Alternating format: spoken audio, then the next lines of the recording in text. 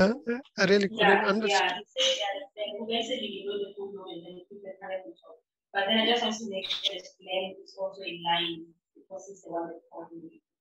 Okay, yeah, surely.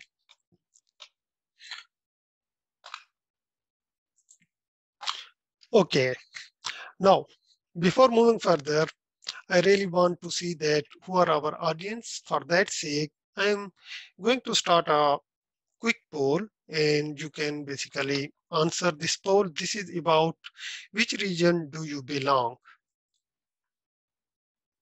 Just take your time and uh, answer this poll.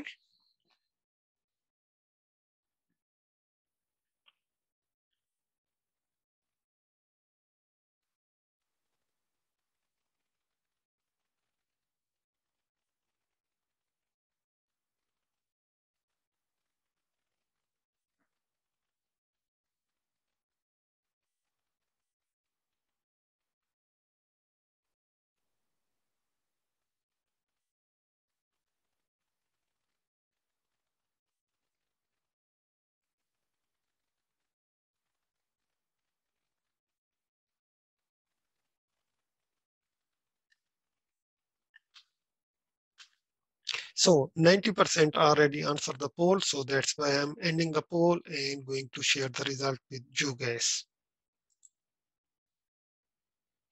So can you see the result, guys? So we have Yes. participants from Indian subcontinent, from India and Pakistan that are like 39%, around 11 participants. We have some participants from USA and Canada, from Gulf, uh, from Australia, and we have quite a lot of participants from some other regions. Uh, I'm sure that few of them are from South uh, Africa. Anyone else except South Africa and others?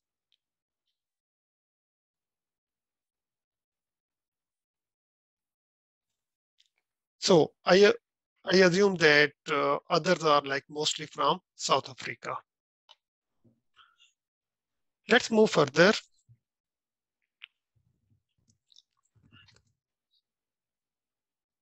And start another poll. This poll talks about your background.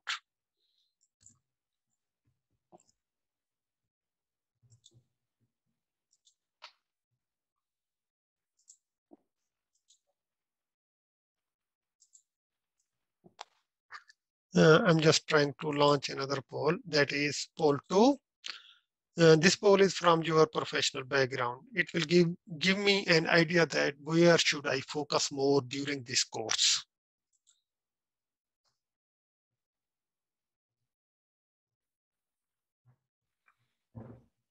If your background is from waterfall or from agile without uh, any knowledge of discipline agile, or you have a good understanding of both agile and discipline agile.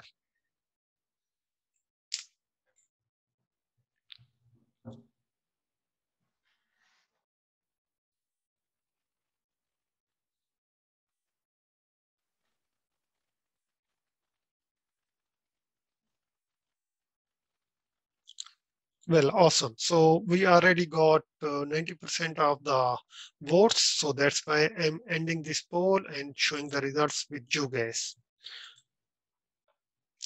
As you guys can see that uh, most of you guys, mm, they fall under the category either waterfall or agile, but no discipline agile. In fact, 45% of you uh, they don't have any agile knowledge at all. 50 52% of the participants, they have good understanding of both waterfall method and agile way of working. And we have only one participant who got an understanding of both agile and disciplined agile. Now let's move further. Uh, I'm uh, stop sharing the result and we'll request you to do a brief ice-breaking activity. Uh, by using a pen or by just uh, doing it in your halt, mm, just think about uh, your name, your role at work, mm, what you are expecting from this class. What will be success look like for you after this class. And just one thing uh, we don't know about yourself. And then I will request few of the participants to share uh, the answers for these questions. So please take one minute.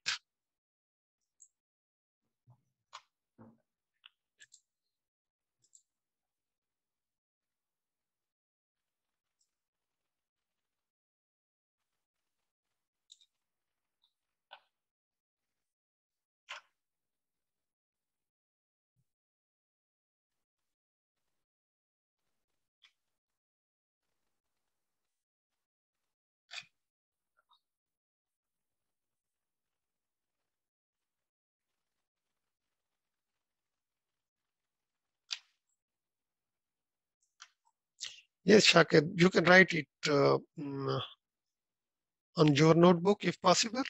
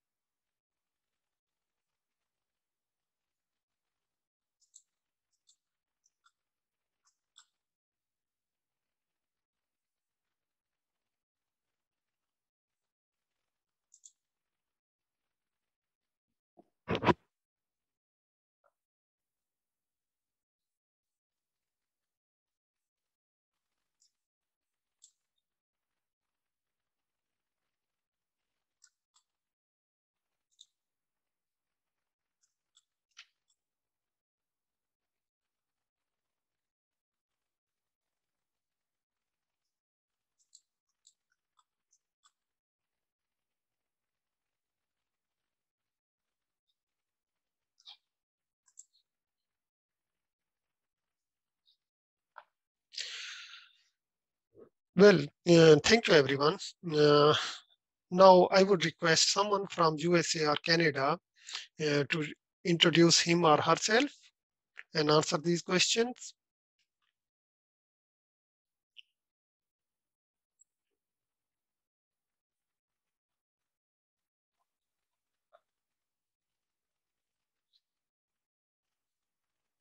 Anyone from USA or Canada?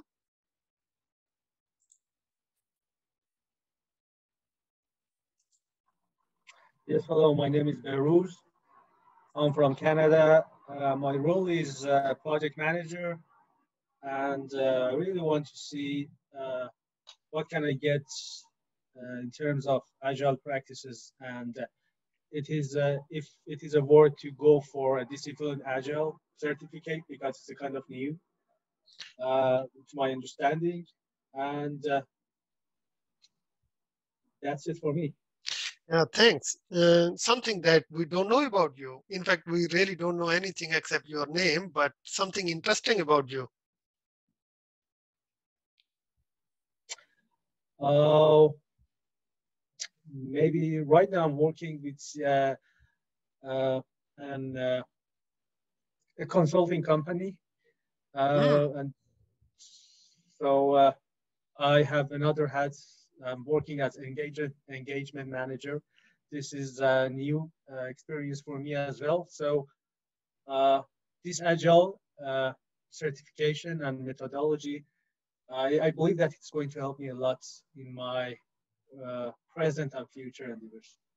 Awesome. Thanks, Behrooz. Uh, now, someone from Pakistan or India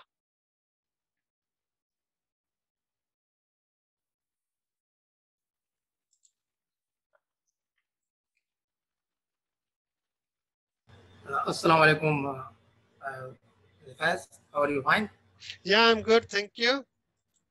Uh, uh, thank you very much, uh, for arranging this wonderful session for Discipline Agile. I, I really appreciate that it is the need of the time. And I am from Pakistan, but currently I am in Saudi Arabia. And uh, I'm Tosin Ahmad Khan. My role at work is uh, I am project engineer in Saudi Electricity Company. And what will make this class a success for me. Basically, uh, I will uh, eager to uh, learn about discipline agile concepts and different certifications.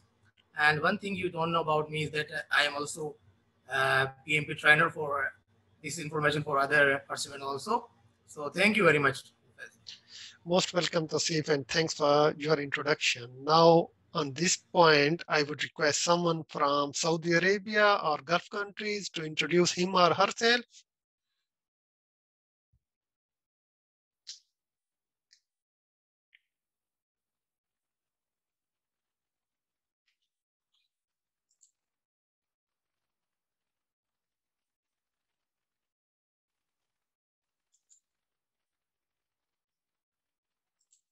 Yes, anyone from Saudi Arabia or Gulf?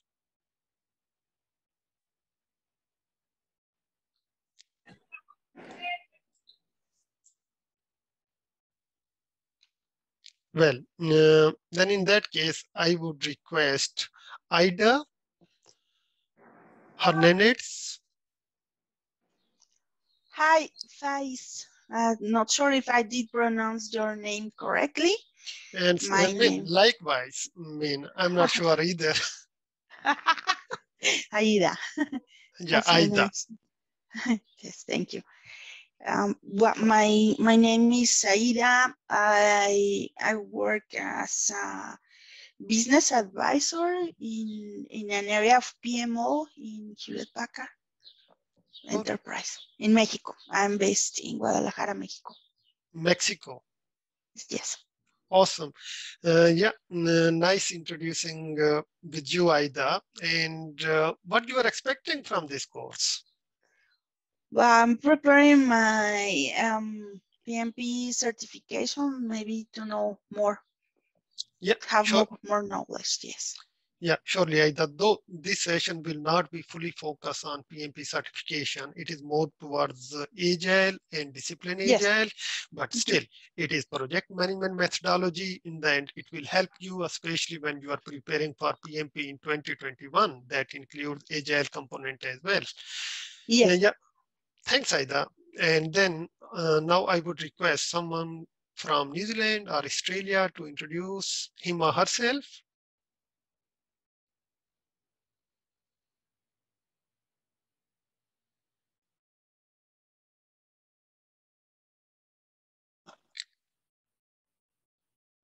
We had very few participants from New Zealand and Australia. If someone is from this region, just feel free to introduce himself or herself.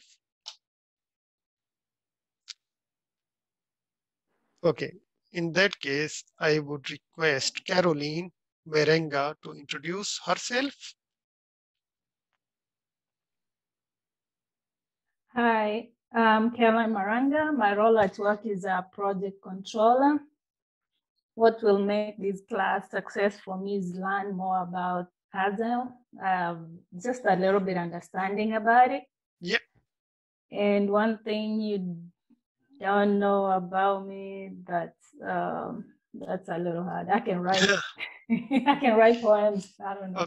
Okay, yeah, not a problem, Caroline. Yeah, thanks for introducing yourself. And then, and just last one introduction, and that would be from others, the people from other regions. One of you, please. Hi, I am Gültekin from Azerbaijan, Kartas.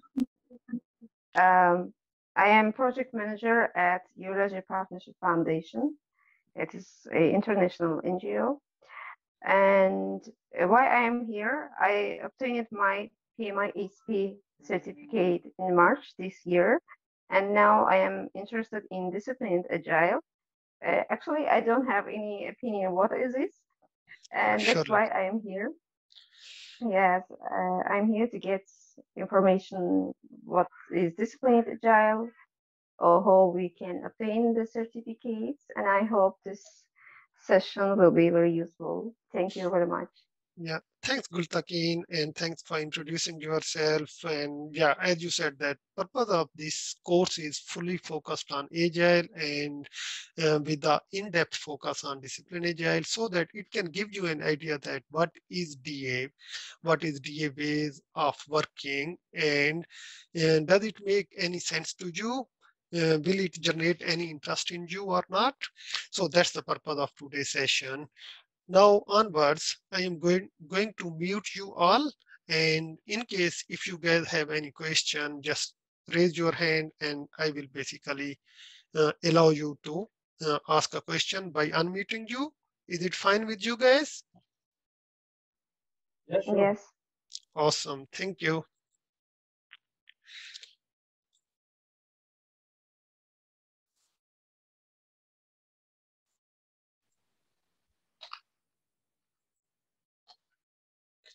Well, uh, on this point, I would request Shakir just to try to erase uh, the ink that is on the screen because like I tried to erase this ink, but I really couldn't do it. Somehow Shakir is able to uh, put some words here. Thanks, Shakir. Okay, so uh, as we have seen in the poll that uh, few of you guys have no background in Agile at all. So firstly, what we will do, we will uh, discuss Agile in general. Uh, and then from there, we will move towards discipline Agile. To start our session, how many of you know this particular diagram?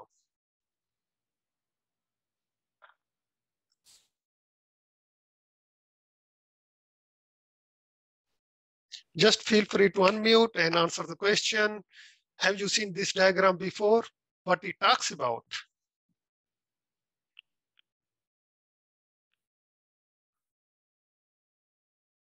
Okay, so No. uh, that's all right. So this particular diagram is a water waterfall way of managing software projects. You all are from project management background. You are well aware of predictive method or waterfall method where we do a thorough plan in the start and then by following that plan, we execute our project and we keep on monitoring and control. Now, this particular diagram, we call it V-shaped diagram. This is waterfall method of managing software projects or software uh, development lifecycle. It starts from gathering the requirements and then based on that requirements, we architect our solution, we architect our software, then we design. And after all those activities, we start constructing our solution, we start implementing. Once our implementation is done for a portion of our software or a product, then we keep on doing some testing, some quality assurance. For each component, we do unit testing. The purpose of unit testing is to validate that particular component of our code in our software application. And then uh, we go to next level we confirm our design with the help of some functional testing and we confirm that if our design is well aligned with our current systems, with our organization's architecture, with the help of some integration testing. And then we see that, okay, the requirements we gathered from our users uh, now are developed well and with the help of some user acceptance uh, testing, we call it UAT, we confirm that these requirements are fully implemented in our software solution. But that is an old way of working. It is based on the theories of 1960s, 1970s, where they talked about that this is uh, this is the way of developing any software. We create a thorough document that include all of our requirements, our plan to basically uh, to architect and design those requirements. And once that uh, document is ready, the next step is by following that document of requirements, we construct our solution. However, what happens, and we have seen very recently in 90s and in the start of 21st century that this takes a lot of time the planning for software uh, requirements analysis, architecture, and design. Uh, for example, we spent three to six months uh, on this document of requirements, planning, and analysis and design. Uh, once we start developing, user requirements change very fast. Stakeholder requirements change very fast because they have seen new and new solutions. They have got new and new ideas. Similarly, on the other side, the technologies are very disruptive. They are changing very fast. So whatever the requirements initially given by our stakeholders are not of any use anymore. They really want to change those requirements. Similarly, as a development team, we have seen new and new technologies that could better fit to develop our solutions. So in that case, what happened that all of our effort of previous six months or nine months gone wasted. And uh, and the solution we are going to develop is something that is already obsolete. It means that this way of working is not going to work. This thing was realized by software mm, development leaders back in 1990s and they start developing a different way of working and we call them agile way of working let me explain this agile way of working and where it could be used with the help of this small graph. For example, if on x-axis we have disruptive technologies and on y-axis we have user requirements, and we call them, okay, the uh, requirements which are changing requirements or uncertain requirements. So uncertain requirements on vertical axis and disruptive technologies on uh, x-axis. If technologies are very less disruptive and requirements are very certain or very less uncertain, in that case, we can use this technique this V model, this traditional technique. However, if our requirements mm, become more and more uncertain and our technologies become more and more disruptive, then we call it complicated scenarios.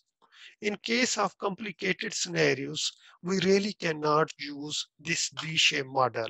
Similarly, if our requirements become even more uncertain and technologies become more and more disruptive, like the introduction of uh, artificial intelligence, IoT, or machine learning, etc., in that case, still we cannot use V-shaped model.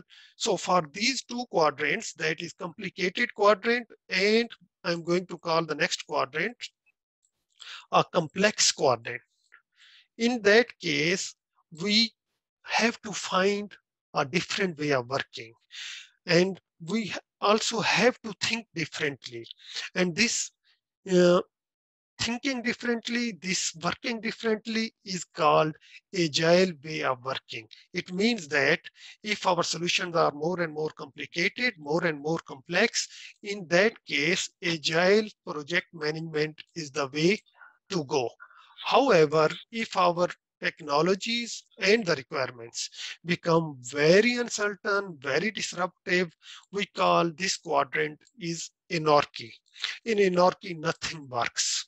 So it's better if our solution is like towards anarchy, where requirements are changing every day, technology is changing every day, no method is going to work.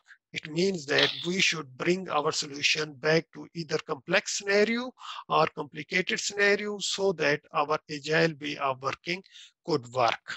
That was the reason behind this new method of project management called agile project management. Any question at this point in time?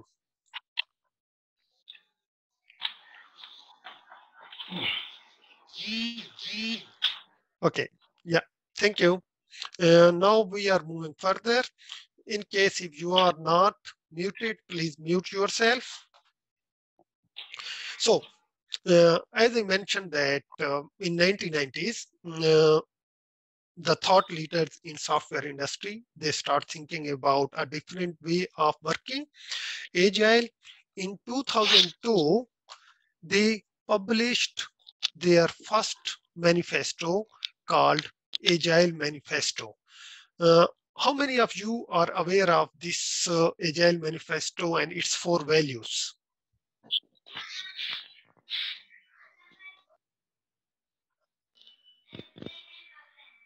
Yeah, we are aware.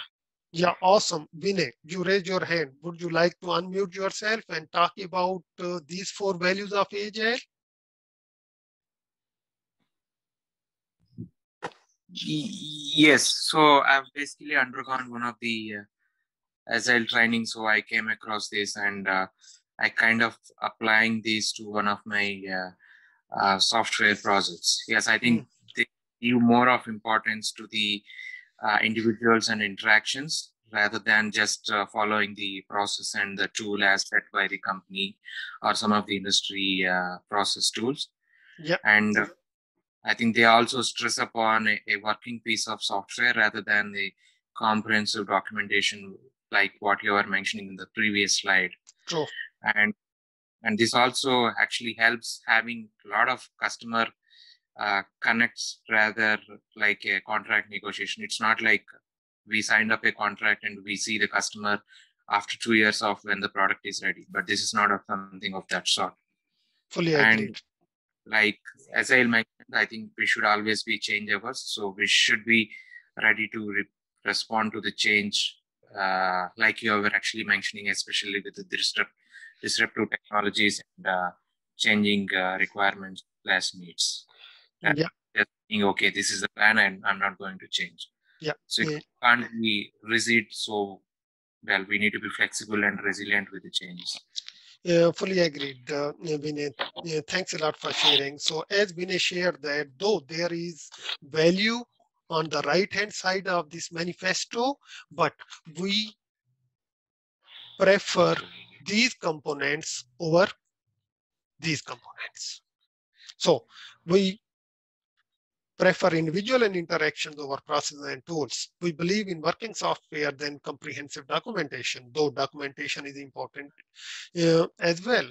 Contracts are always there, but our focus shouldn't be on like uh, negotiating the contract and locking the scope and uh, mean and then working on it. Our focus is more towards like customer collaboration. We really want to give value to the customer for which customer is paying to us. We want to give the competitive advantage to our customers. So that's our preference. And similarly, uh, no doubt, agile also requires a lot of planning, but our focus is we should plan in such a way that we should be able to respond to the changes, especially the requirements changing from our uh, clients or from our uh, stakeholders. Similarly, based on these four values of Agile Manifesto, there are 12 principles of Agile. Anyone who is not aware of these principles,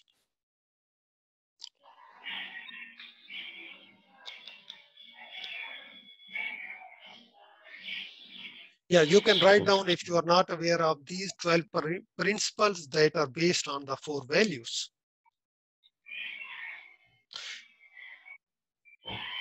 Okay, uh, let me quickly go through these principles for those who are not aware of it. Uh, our focus is to satisfy the customers. We also welcome change. We deliver frequent. We believe in working together with trust and support in a face-to-face uh, manner. We believe in working software through a sustainable development with a continuous attention to technical excellence. Uh, we try to maintain simplicity. Uh, we believe in self-organizing teams and we always reflect and adjust our way of working over the time. So these are 12 principles uh, of Agile that are based on the four values. And here in this particular slide, uh, what we are saying that everybody is talking about Agile agile way of working. In fact, agile way of working is fantastic. Agile methods are fantastic. Scrum does work very fantastically. But the thing is like the right way of thinking about agile is not doing agile in the start, not adopting a particular method in first, but firstly thinking as agile, being an agile. And we can do it by basically understanding four values of agile, acting upon 12 principles of agile and then based on that we can adopt any method any agile method. And most of you are aware of the methods that are available in market. For example scrum extreme programming dsdm kanban SAFe discipline agile LeSS that is large scale scrum Spotify, so on, so forth. So until you don't have this mindset of being agile, using a particular method will not improve your performance as a team, as an individual, or as an enterprise. Though doing agile is very, very important, but firstly, we should be agile before doing agile. Here, we understood being agile is important, uh, but how to do agile? In the end, we have to work. Uh, there are many different methods that are used uh, around the globe in software project management, in software industry. In fact, Agile is now getting more and more popular beyond software. Agile is being used in all different industries, in IT operation, in technology, in human resource, in procurement, in education, you name it. All the industries start embracing this well-proven uh, way of project management called Agile. One of the famous method that is used in software industry or in the technology enterprises to do Agile, especially on the team level is Scrum. Scrum is a method that was developed back in 1990s. Uh, and this method um, and its few of terminologies are taken from the rugby game.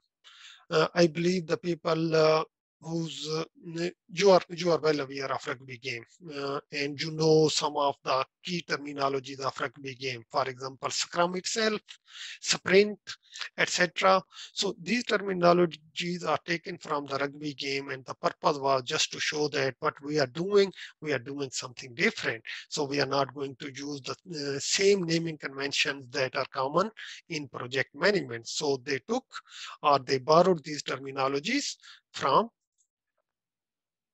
uh, rugby game.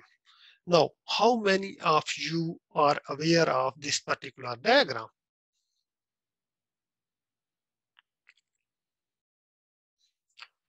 Feel free to raise your hand.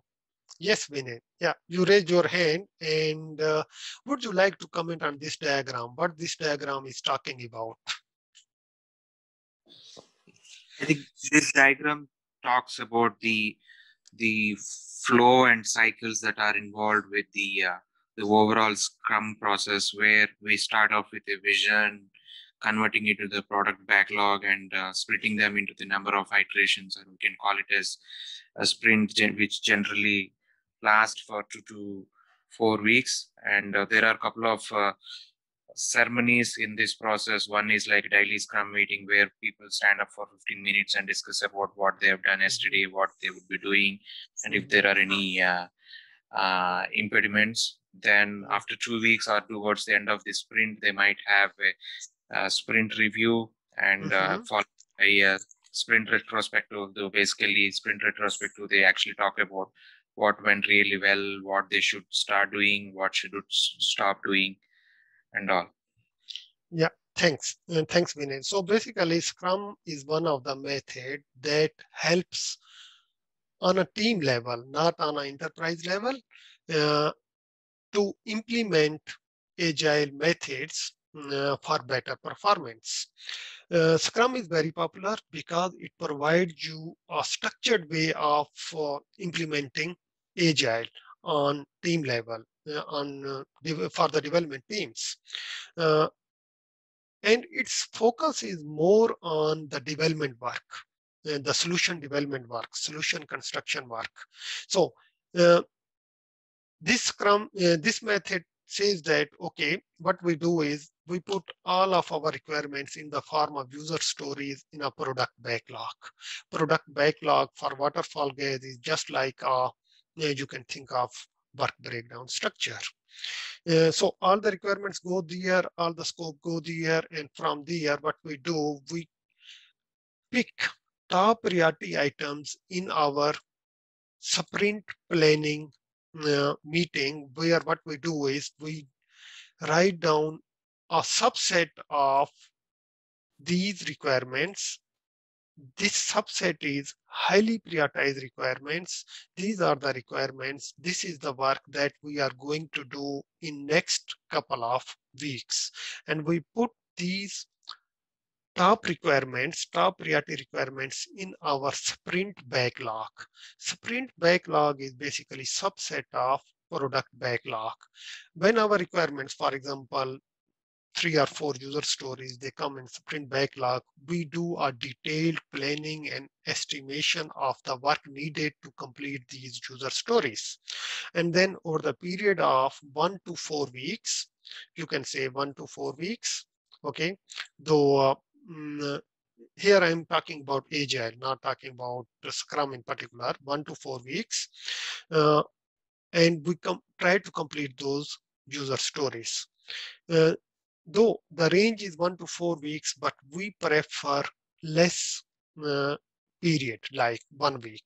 We want to run our iteration, we want to run our sprint only for uh, one week or two weeks. In fact, Scrum does it for two weeks, XP does it for one week. So as a team, as a development team, we work on the user stories and we try to develop the solution. And during that team, and during that time, uh, as a team, we do daily scrum. Daily scrum is something, a coordination meeting that we do each day so that we can see that uh, what we did yesterday, what we are going to do today, and what there any impediments or issues to resolve. Normally these meetings are not long, only 15 minutes long, and we really don't discuss in detail that what we did, but we just mention it. At the end of a sprint of either one week or two weeks, whatever we develop, whatever product or user stories we develop, we show it to our customers or our stakeholders so that they can have a look that what we did, is it acceptable? If it is acceptable, what to do next? Similarly, if it is not acceptable, then what are the new requirements? What are the new changes? That's what we do. And based on customers' feedback, we uh, update or we groom our backlog and we keep on moving. Similarly, we always have a meeting at the end of our sprint, at the end of our iteration. And this meeting is not for the stakeholders. This meeting is for us as a team. And in this meeting, we call it retrospective. Uh, we talk about uh, how good we did in the last sprint. How good was our process? How good we developed our product? Is there any issue on the people level? If there are any issues, how can we improve it? How can we improve uh, our relationship with the people? How can we improve our processes? How to how can improve our product development? So we do retrospective and then we go back again and pick next prioritized items, bring it in our sprint backlog and story keep on going. In Scrum, uh, we can clearly see that it's a very structured uh, method. However, it also brings a lot of processes in it, a lot of requirements in it. It tells us what to do. It basically um, where give us a structure, but also require from us to follow Scrum as it is. Do daily Scrums daily, do uh, sprint reviews, do uh, sprint retrospectives, uh, put everything in the product backlog based on the business value, so on, so forth. On Scrum, normally there are three common roles, and most of you guys are aware of these roles. The first role is product owner. Anyone want to comment who is a product owner? Just raise your hand. Yes, Ishan. Basically, business analyst normally be the product owner who is responsible for all the arrangement of the product backlog items and prioritization of the product backlog.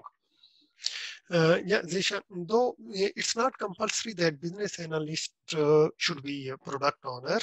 Business analysts normally work with the product owners uh, to elicit the requirements, to analyze the requirements, but the product owner is, you can think of, it's a voice of customer.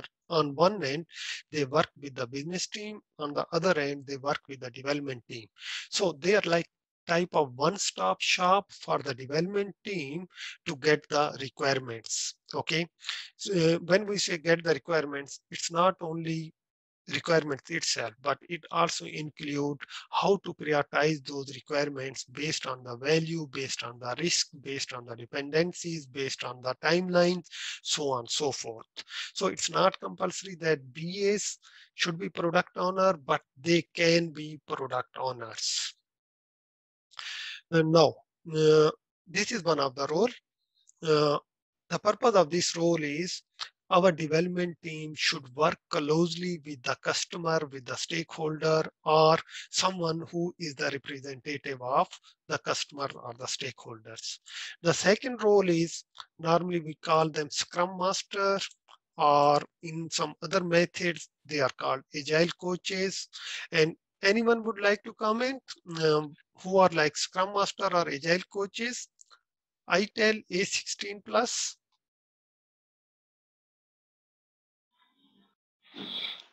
Um, actually, I, I, I, I had a question uh, uh, before we moved on on the product owner. Yeah, sure. Um, I, I actually wanted to check uh, since Scrum has got three roles, which is the product owner, Mhm, uh, the Scrum Master, and the team. mhm. So, so, so does it imply that uh, the, the the product owner is the is the sponsor Uh, of the project? No, not really. I mean, uh, and the thing is, sponsor could be someone else. In fact, normally they are someone else, but they really don't have time to work closely with the development team. Not only sponsor, but many other functional managers, many other uh, users of the products, or uh, many other departments, they really cannot work directly with the team. So it's important that there should be someone who is representing project sponsor or representing uh, all the stakeholders or the users and he or she is someone who has a good understanding of both business and technology who not only can work on one end with the business people but on the other end with the development team Thank thank you for that. So so so that person can be an appointed representative from the business side. yeah vice of customer we normally call them Okay, thank you. yeah most welcome so anyone would like to comment on the scrum master what is this role and what it does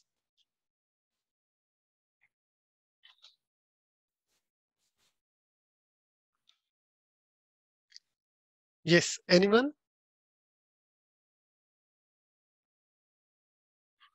scrum master yes Binay. I think he's the one who travels along with the uh, team, runs the daily scrums, and removes the impediments that come on the way. Mhm. And if we actually talk about in PMP terminology, he should be a good servant leader. Yeah, someone uh, who basically uh, ensures that team is following the Scrum method properly. Uh, they are working with the product owner. They are taking part in all different Scrum ceremonies. Maybe you are aware of that. There are like uh, five different type of ceremonies or events. We call them Scrum events or ceremonies. For example, product backlog refinement meetings, sprint backlog meetings, daily scrums, sprint reviews, and sprint retrospectives. Uh, and also, uh, all the good practices of Scrum are being practiced by the team. This is the responsibility of a Scrum Master. But again, Scrum Master is not a project manager who assign work to the team he or she works as a servant leader to the team and ensure that whatever team requires should be available for the team. Whatever impediments come on the way should be resolved and team should have a good access to the stakeholders and the product owner. And then there comes the last role that is mm, development team or we call them developers. Anyone would like to comment on the development team?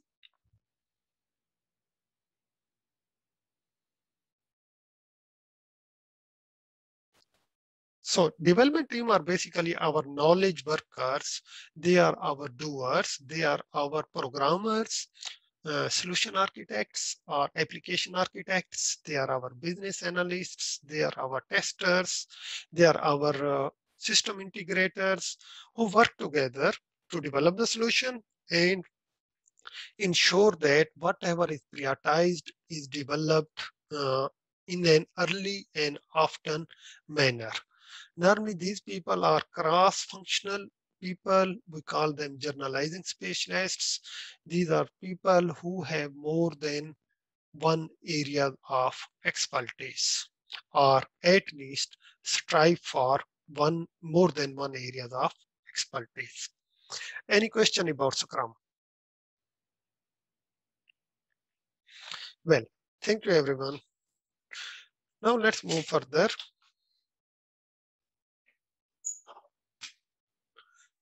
And let's talk about disciplined agile. Now,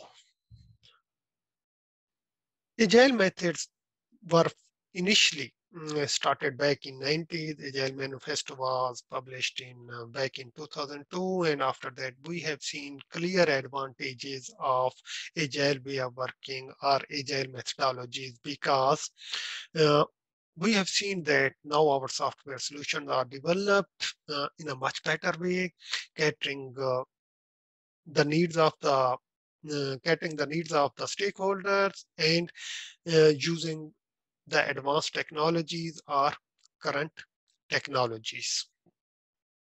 However, another thing what we have seen is um, Agile is aging over the period of time.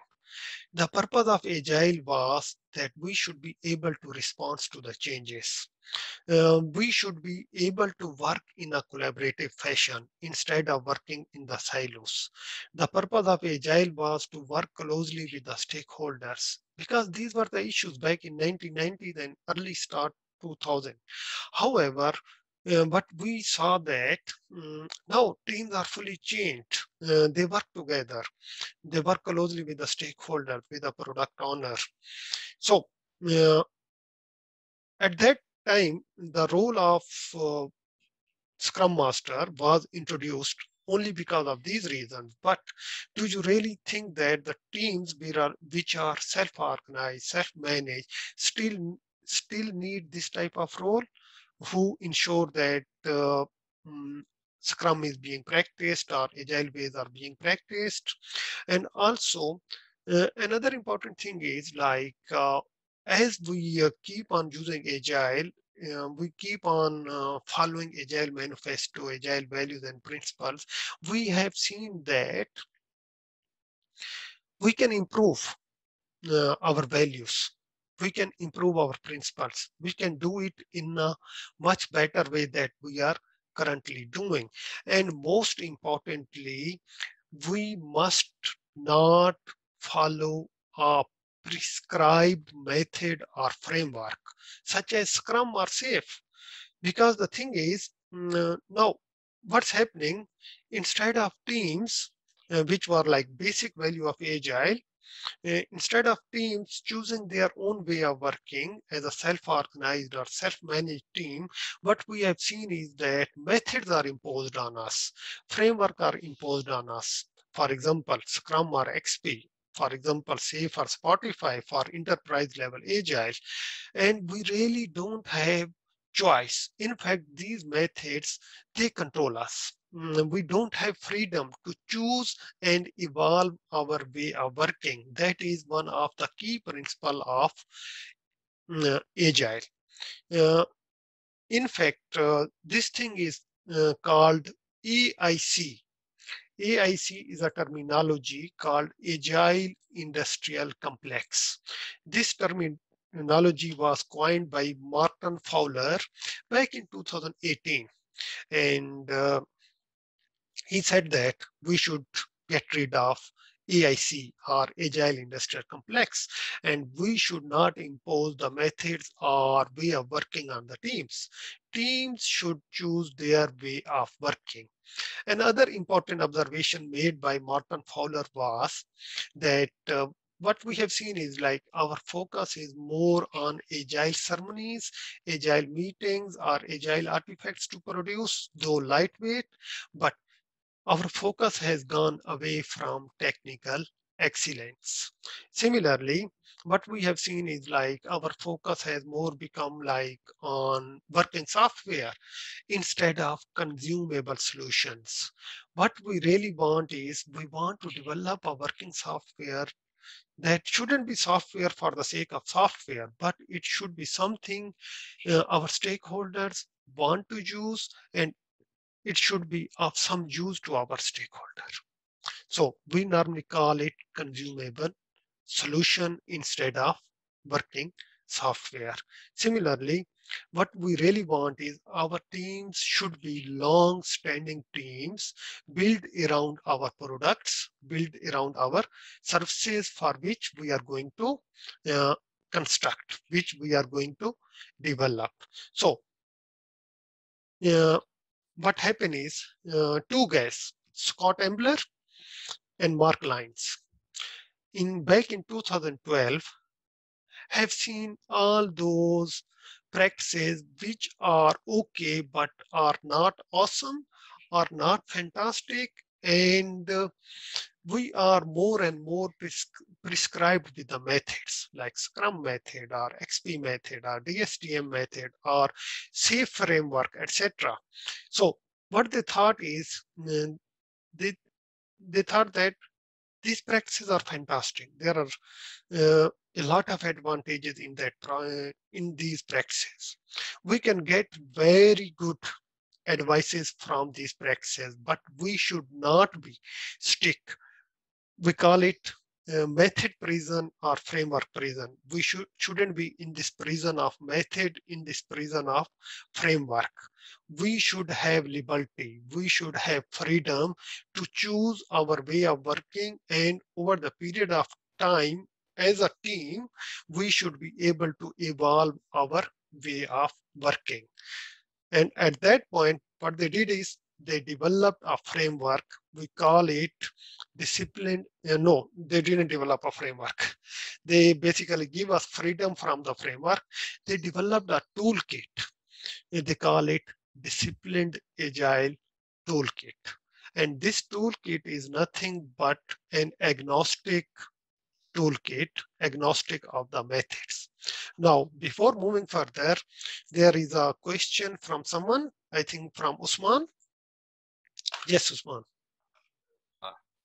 Yes, uh, before we move forward uh, uh, to the details of disciplined agile, as you mentioned that I can apprehend that we are going to, you know, uh, discuss and introduce another way of jargons or terminologies to make ourselves, you know, uh, fixed to the methods or some you know i don't know uh, if you're going to introduce some new terminology which will not be you know uh, strange. And i disagree in a way about that we need discipline agile or scaled agile or whatever. If you recall one of the practices and things which is very important in agile is the process tailoring yep. which gives you the full liberty mm-hmm. and uh, allow you to uh, not to be you know strict. That's that's the beauty of agile. Then why we say that we need something just for the sake of you know i can also make something and very frankly uh, a new terminology or anything mm-hmm. if it is something like that we should be clear in our minds why we are doing it if it really makes uh, value then it's uh, you know I mean, you are you understanding my point? What I'm trying to say? Uh, I fully yeah. agree. basically, that was the mindset of disciplined agile guys. I fully agreed, Usman, as you are thinking that. Uh, mm, I mean, we really don't need another method. We really don't need any other terminologies. We all always can improve ourselves. Then why disciplined agile? Basically, discipline agile is what you are saying. And that's what we are going to see today that discipline agile is nothing, not a new framework, not a new method, but it is an agnostic hybrid of all the previous methods because we believe that a lot of good practices are emerged under these practices. And in fact, if you look on this particular slide, we can clearly see that discipline agile is an agnostic hybrid that leverages the strategies from a variety of sources. They don't offer a new strategy, a new method, or new framework, but what they want is like they want a freedom. They want to give us a way of working by that will be chosen, that will be evolved by the team, not by a framework, not by a method. So again, as we, for example, uh, mm-hmm. forget about PMI ACP, let's go back to PMP, mm-hmm. which we uh, we have a PMBOK there, which is uh, treated as a bible for project management. Mm-hmm. Do you still think that we, we should expect something in DA, disciplined agile or disciplined agile Scrum Master? There's some fixed fixed rules or methods which will no. be contrary to what we are discussing. It's, I mean, it should no. more give more leverage, as you mentioned. Yeah, it will be a toolkit that you can use as per your need, as per your context. On the other side, if you talk about PMBOK, uh, the scope of PMBOK is bit different than discipline agile. There are some commonalities between DA and PMBOK, but DA has more commonalities with agile frameworks and agile methods. Uh, sorry, I, I think I think I misspelled that. I believe uh, I should have used the word PMI because we are yep. now comparing PMI with SAFe or like uh, Scrum Alliance. Then what no, is the difference? I'm, I'm not comparing uh, basically PMI with SAFe or Scrum. That's number one. Uh, so PMBOK, as you said, that uh, they call it Bible of project management, etc. Uh, previously, the PMBOK focus was more on waterfall techniques. And according to them, they used to offer some best practices that are like uh, applicable for most of the projects in most of the situation. Now, they are still improving it in their next version, that is version 7. Instead of process-based framework, they are going towards more like principles of project management. And those principles will be applicable to all type of projects in all type of settings. That's number one. And number two is discipline agile is not a comparison between PMI versus SAFe or PMI with Scrum Alliance, etc., etc. Uh, Discipline Agile was developed back in 2012 and recently acquired by PMI, but it really doesn't mean that uh, we are going to compare PMI with the SAFe. And on the other side, when we talk about discipline agile, discipline agile advocate or promote a hybrid uh, but agnostic way of working. That says that all these methods are fantastic, but Scrum could be fantastic in a particular context. On the other side, Kanban could be very fantastic in another way of working. SAFe is very good for enterprise level, but may not fit for all uh, because like the dynamics of each enterprises are different from each other. So what we really want is we really don't go in a mindset of like prescription based methods or framework based methods but what we want is we want choices for ourselves as a team so that we can apply those choices as per our need as per our context. That is basically the toolbox we call it discipline agile. Right, right. let's see. Okay Okay, cool. So uh, let's move further. Uh, as we uh, just discussed that uh, discipline agile is a agnostic hybrid based on DevOps, extreme programming, Scrum, SAFe, little bit of PMBOK, Spotify, Kanban, or Lean, agile modeling, agile data, uh, unified processes, so on, so forth. Now, um, as we uh, we just talked about, uh, agile is aging over the period of time, and it makes sense that uh, there is always improvement over the period of time, and that improvement is needed. And disciplined agile guys they try to bring that improvement with the help of an agnostic toolkit. We normally define this toolkit a decision process uh, toolkit, uh, the toolkit that help us to choose our processes as per our need. And why we do it? Because discipline agile guys think that each individual is unique. The team in which they work, uh, they are unique. The organizations uh, from each other, the enterprises from each other, they are different. Uh, and and the teams within a particular organization, they interact with each other in a unique fashion. If there is uh, any change um, in one team or one team way of working, it may impact on uh, other teams of working, other teams with whom one team is working. For example, if we talk about this particular team, the individuals in this team are unique, individual in this team are unique. The interaction between them is unique. Similarly, interaction between team one and team three will be unique as well. Their way of working could be unique. One team within the same enterprise might be working based on Scrum. Another team might be working based on Lean or Kanban. So once a change comes within team, and this change is uh, like pretty mm, uh, pretty dynamic and the interaction between one team and other team is like something that cannot be comprehended with the help of one method or one solution even at a scale level or a enterprise level. Another important thing is development teams not only they interact with other development teams, but also they interact at enterprise level with many different departments of the same enterprise. For example, enterprise level architecture, finance departments, reuse engineering, quality engineering, procurement, uh, so on, so forth. So in fact, each enterprise is just like a, a CAS or complex adaptive system in which teams interact with each other in an adaptive or constantly changing manners.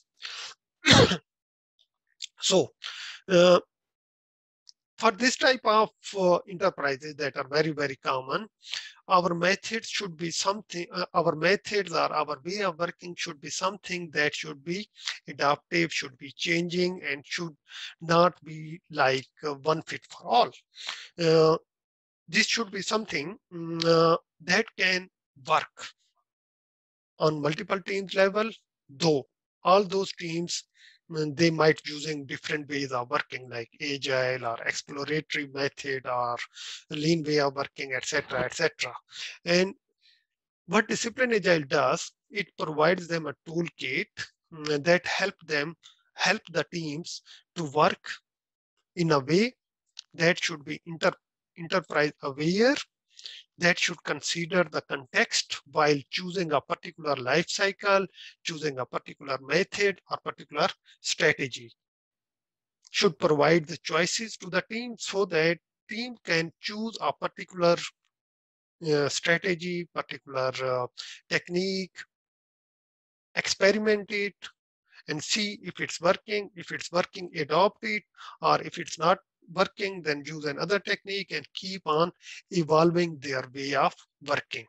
Similarly, on agile team, especially if you talk about Scrum or SAFe, uh, normally they don't like this word called governance because they think that governance is a sphere world. It is uh, something uh, that shouldn't be applied in agile. This is uh, more from a waterfall where basically someone else governs us, someone else micromanages us. They keep an eye on us, but we are self-organized teams, but self-managed teams. However, it's not the case uh, in practical scenarios. The people who uh, give the funding, uh, the clients who provide the money or the senior management, they always want to see that what's happening on the team level. So what um, Discipline Agile does, it provides you some milestones. We call these milestones lightweight, risk-based milestones They are not the artifacts, they are not the documents for the governance, but they are for the sake of seeing that how teams are doing. And we call it lean governance. Similarly, Discipline Agile Toolkit provide us continuous improvement, a way of continuous improvement, but in a guided fashion instead of like continuous improvement on the same for the sake of continuous improvement. So these are some of the features of Discipline Agile Toolkit. And what we are going to do, we are going to look one of the feature called GCI or Guided Continuous Improvement. Any question here?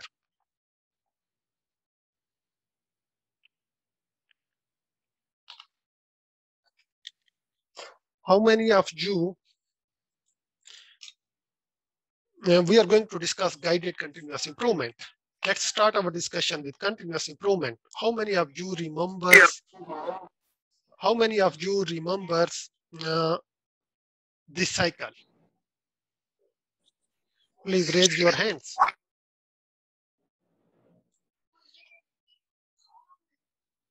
Yes, Usman. Yeah, unmute yourself, please. Actually, it is basically uh, uh, the, at the heart of the continuous improvement and, uh, you know, where we do the improvements uh, while uh, learning and knowledge sharing based on our, you know, this cycle plan, do check, uh, check and act. You can say that PDCA cycle in Yep. Agile, it is called. It's similar to this. Yeah. So it is a cyclic thing which is repetitive and, you know, continuously you learn from your mistakes and knowledge and uh, you know and refine your uh, uh, based on reflect on your uh, you know problems and improve do improvements so it's at the heart of you know continuous improvement this learning Yeah, uh, thanks, Usman. Thanks for sharing your thoughts. As you mentioned that uh, this is basically a Kaizen cycle. Uh, This was first introduced by Demings back in 1970s uh, at Toyota, in Japan, and uh, this is the heart of continuous improvement. Uh, few guys call, remember it with PDCA, that is Plan, Do, Check, Act. historically, uh, when Demings introduced a cycle, he introduced it as like a plan, do, study, act. But uh, over the period of time, uh, to make it more lean, he called it PDCA, replace study with a check. However, later he reverted to again PDSA or plan do study act because study is like more a comprehensive term or a like a superset of checking. Checking is just checking or analyzing, but study is like uh, really looking or evaluating that what's working, what's not working. So either call it PDCA or call it PDSA, the same thing. Now, under this cycle, uh, we can clearly see that uh, we can use it for continuous improvement with the help of uh, experiments. And normally these experiments are uh, micro level or small incremental changes. And the flowchart uh, shows that when there comes a problem, okay, we call it like problem is identified. After that, what we do, we plan and identify the potential solutions that can resolve this particular problem. And based on that problem, we experiment that solution. And then uh, after implementing the solution, we see the effectiveness of the solution. Either, and as a result of the study uh, of assessment, we adopt that solution if it works, and we abandon it if it doesn't work. And after that, we share our learning and keep on moving forward and keep on applying the same cycle to resolve all different problems. That's called continuous improvement. But what discipline agile proposes, it proposes that uh, mm, the term we call it guided continuous improvement. Continuous improvement is fantastic, but what do you think if guide is provided to you, if toolkit is provided to you that can help you to make your experiments that you are making here more successful. No doubt in agile world, the terminology called failing fast is like very, very common and very, very fascinating. Everybody loves we should fail fast so that we can save our investment and invest it somewhere else. But in the end, we really don't do our experiments for failing fast. The purpose of doing experiments is to succeed. And we can be more successful if we can have a good or guided continu continuous improvement strategies, a toolkit, a toolbox that can help us to succeed often than failing fast. So that's what disciplined agile provides. Uh, and we normally call it guided continuous improvement and DA provided with the help of an agnostic toolkit. It is a very comprehensive toolkit that helps the people uh, to improve continuously, but in a guided fashion. And the advantage of doing that is shown in this particular uh, graph. You can clearly see that this solid line, uh, it is showing that uh, once we adopt agile way of working, either any prescriptive method like Scrum or SAFe or LeSS, etc. So what we do initially our performance goes down because we are adopting a new way of working and after that that performance improves. Believe me or not that performance improves but don't think that this performance improves too much. It is not the case that people who are working in Scrum setting they are going to perform like uh, two times than the normal people etc. However, it is for sure that Scrum, XP, or all other agile methods, they improve the performance.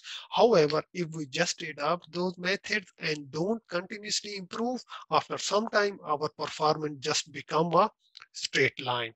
We are not improving continuously.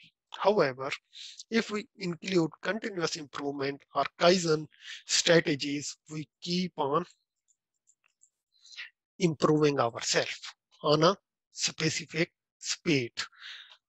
However, if we have a toolkit available with us, an agnostic toolkit that can basically help us to make decisions, help us to make choices out of uh, available choices, uh, maybe uh, uh in, uh, in a recommended fashion or even in a non-recommended fashion, but still guidance is available for us. There are strong chances that after learning that toolkit, we will be able to improve our performance much more quicker than adopting just a particular uh, prescriptive method or framework. That's the promise that is made by Discipline Agile. Any question?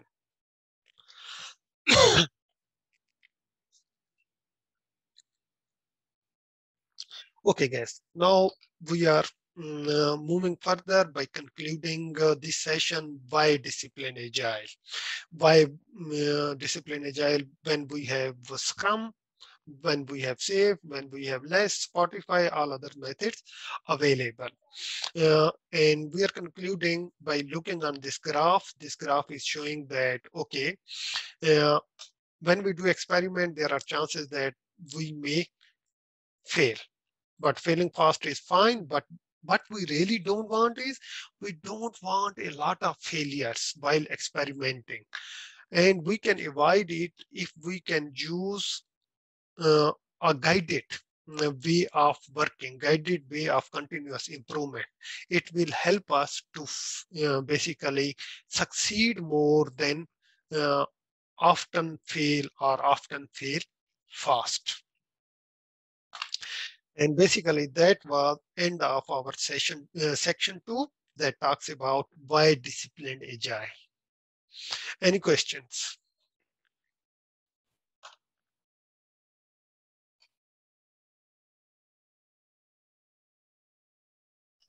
Yes, Kennedy.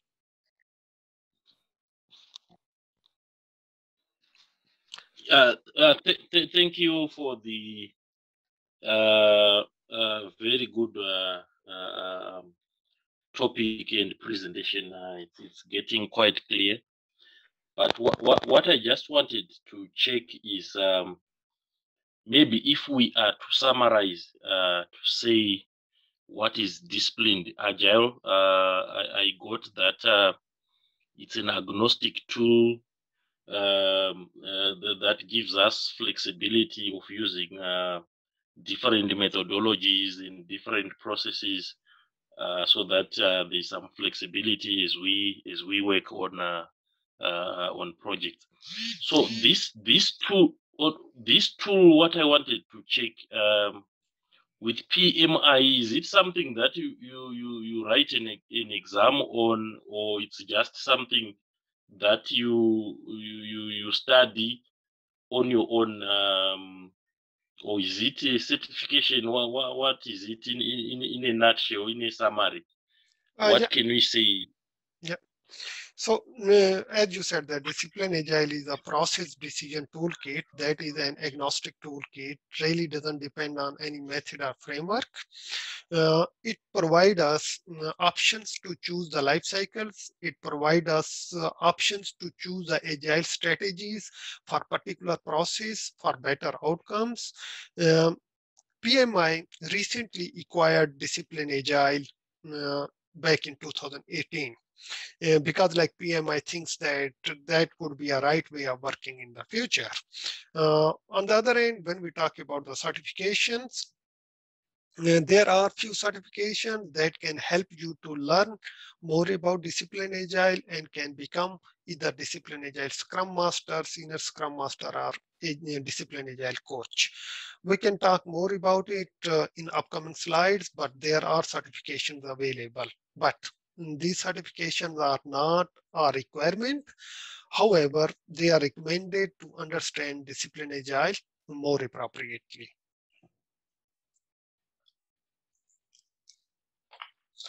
Well, now we have seen that uh, why discipline agile. I hope it made some sense that uh, it can help us to choose our way of working uh, by ourselves and evolve our way of working by ourselves. Uh, now let's uh, dig deep into discipline agile and see that what is discipline agile. Discipline agile is in fact described with the help of four views. One, DA mindset that is based on three things, principles, promises, and guidelines.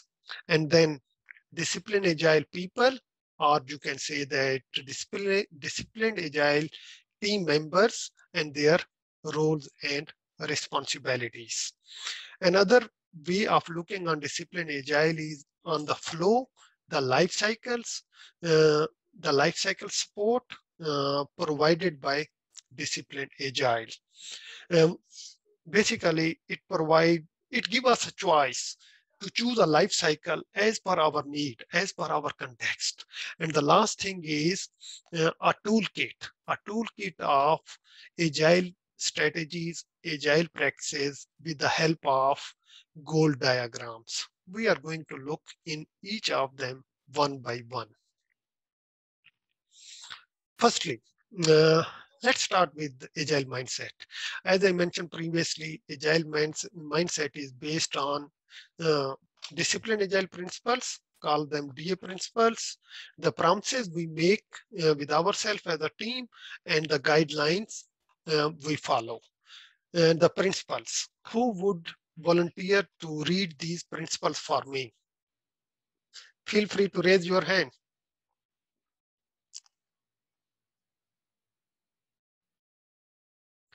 Otherwise, I would request someone. Chicksoft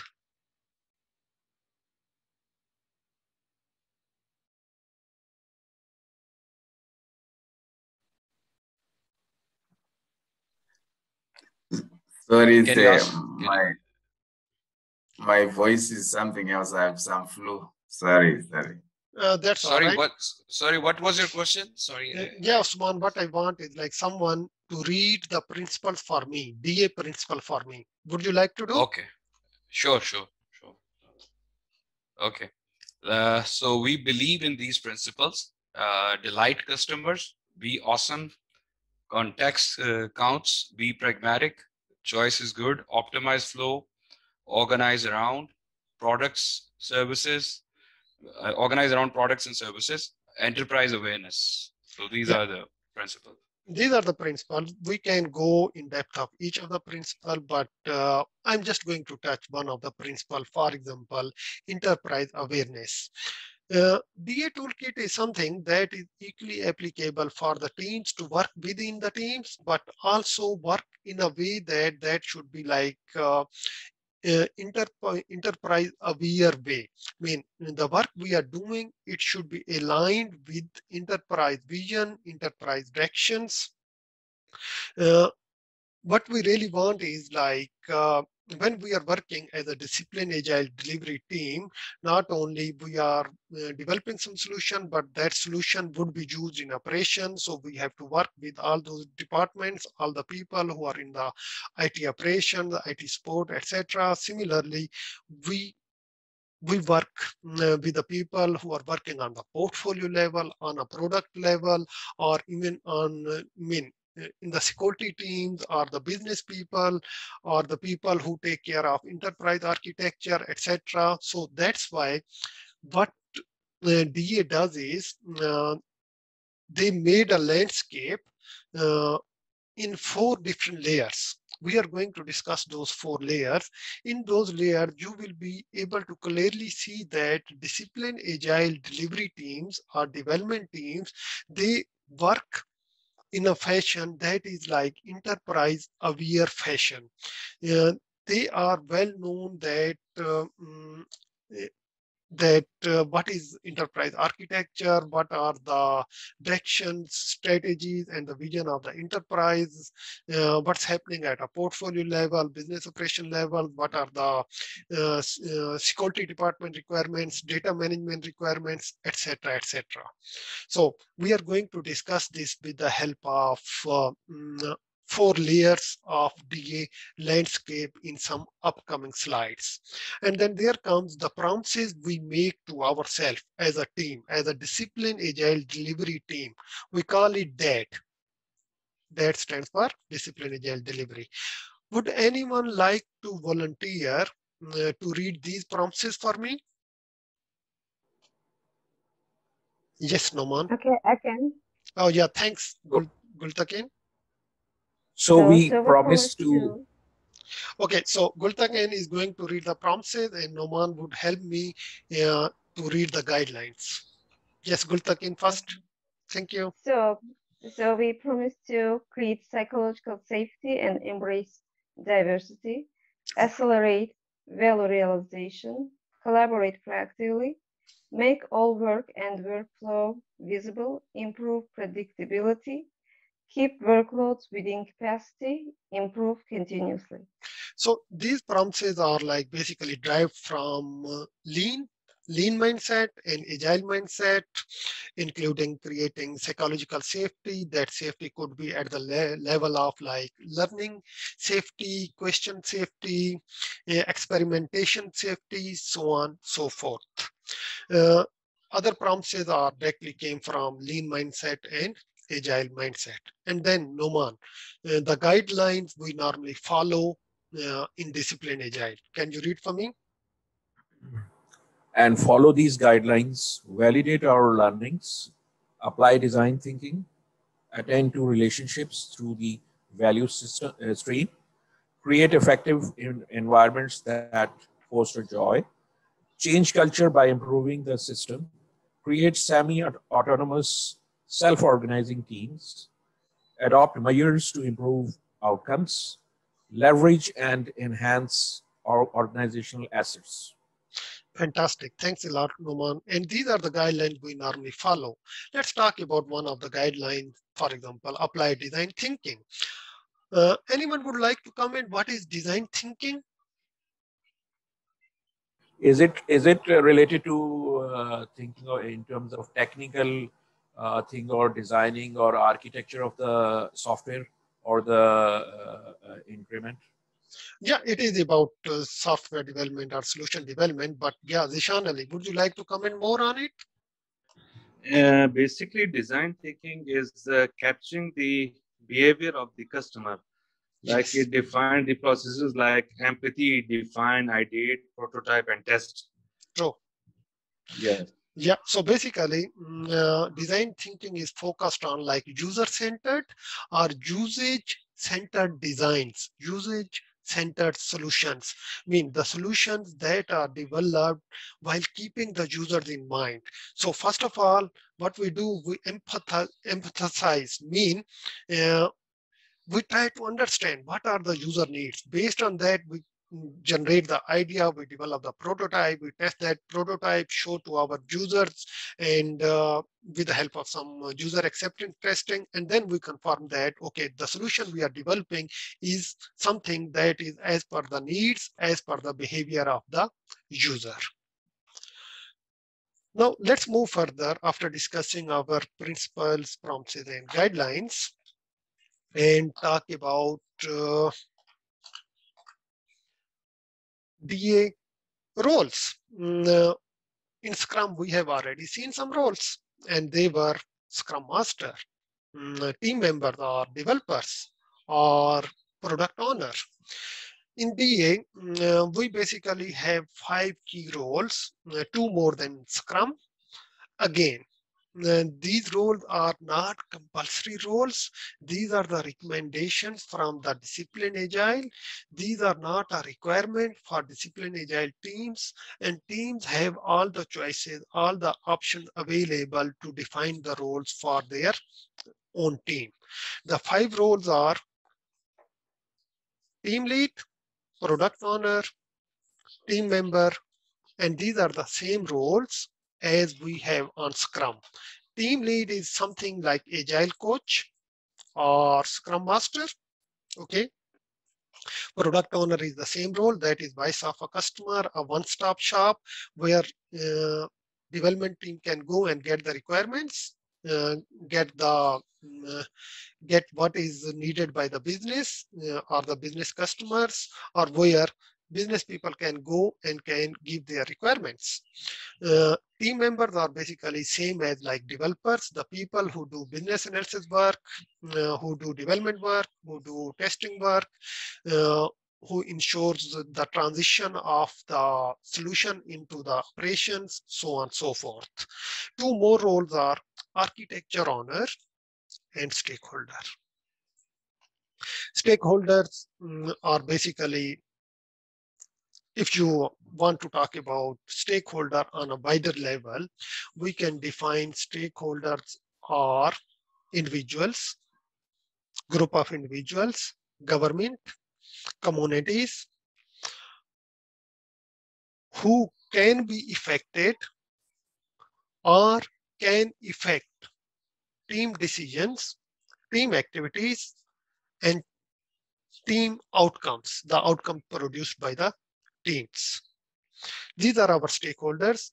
It includes not only um, project sponsors, um, functional managers, uh, the users of the solutions, our clients, our client of the clients, uh, even more than that, operations teams, support teams, so on, so forth. So they are one of the primary key role uh, in discipline agile teams. Yes, we have two ra hands raised. Yes. And these are from Zishan and Numan. Any question, Zishan? No, no, not me. Uh, okay, so because like hands were raised, so I thought might be a question. On the other side, architecture owner. This architecture owner works with the team. And it this role is little bit different from the solution architect or application architect. Uh, this role comes with the more responsibility. In fact architecture owner could be a team member okay? However he or she has an extra responsibility of owning the architecture of the solution architecture of the application for which team is gathered together the product on which team is working. Someone who will ensure that architect uh, the solution architecture or application architecture is developed properly from start till end and he or she is responsible to ensure that whatever work is being developed is developed as per uh, the architecture and that architecture is aligned with the enterprise architecture. So an extra responsibility for one of the team member.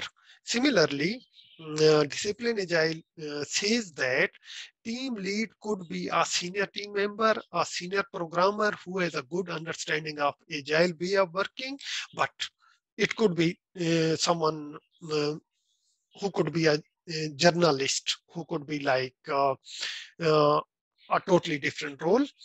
but if team is already well agile aware, already well versed with agile way of working, then one of the team member could be uh, the team lead or agile coach who ensures that all the processes, strategies uh, of agile that are chosen using DA toolkit are adopted well.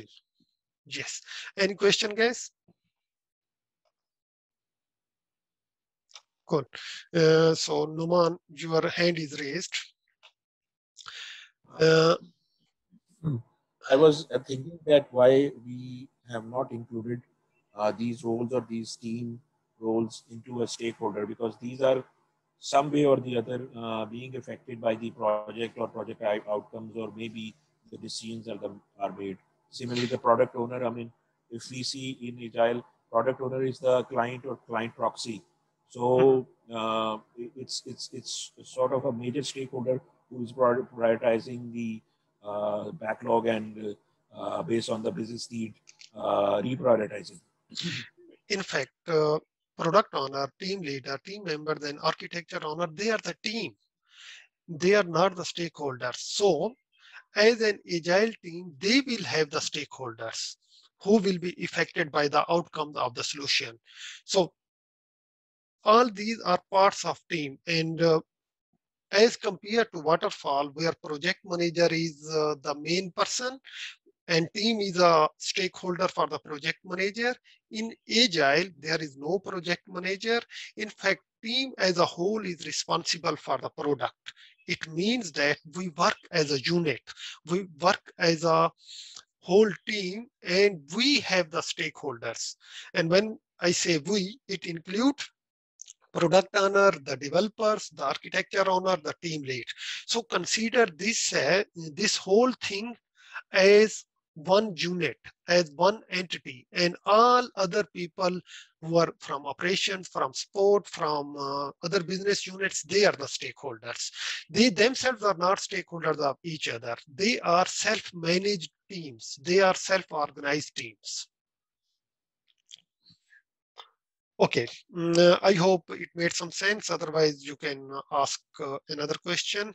Uh, on top of these primary roles, uh, Discipline Agile says that no doubt we believe in a whole team, whole cross-functional, dedicated team who should be able to complete all the product work or all the release work or all the project work by themselves. But sometimes, especially when work is being done on the enterprise level, when there are multiple product teams are working, there are strong chances that we might need some supporting roles on temporary basis, on part-time basis. And these roles could be a role of a specialist, such as like uh, UX, uh, user experience specialist, maybe an independent tester or a team of testers, some domain experts, for, for example, from marketing, HR, or taxation, some technical experts, for example, uh, security experts or data security experts or database administrators, etc and we might have some integrators in case that when our solution is going to deploy with many other solutions, many other systems on the enterprise level and integrator basically help us to integrate with other systems. So there could be some supporting roles, but again, choice is with the team as per the need of the team, as per the context of the uh, environment. Okay, so we discussed a lot. Uh, we are just moving further. Uh, just one point is this team lead is same like a scrum master or agile coach. We were talking about uh, another method, another set of terminologies, etc. Uh, but discipline agile really don't believe in it. Uh, they say that there is no standard mm, or even if there is a standard, nobody follows it for agile terminologies. XP has its own terminologies. Scrum has totally different and unique terminologies. Spotify have their own terminologies, but we believe in general ter terminologies. The terminologies that should make sense, not only make sense for those people who are working on Scrum uh, or Spotify, who are working uh, in agile settings for long, but for those people who are now new to agile but adopting agile or want to agile want to adopt agile. For example, uh, uh, sorry, that's my son. Say hello. Yeah, uh, it's early morning, so he's already here. Let me help him.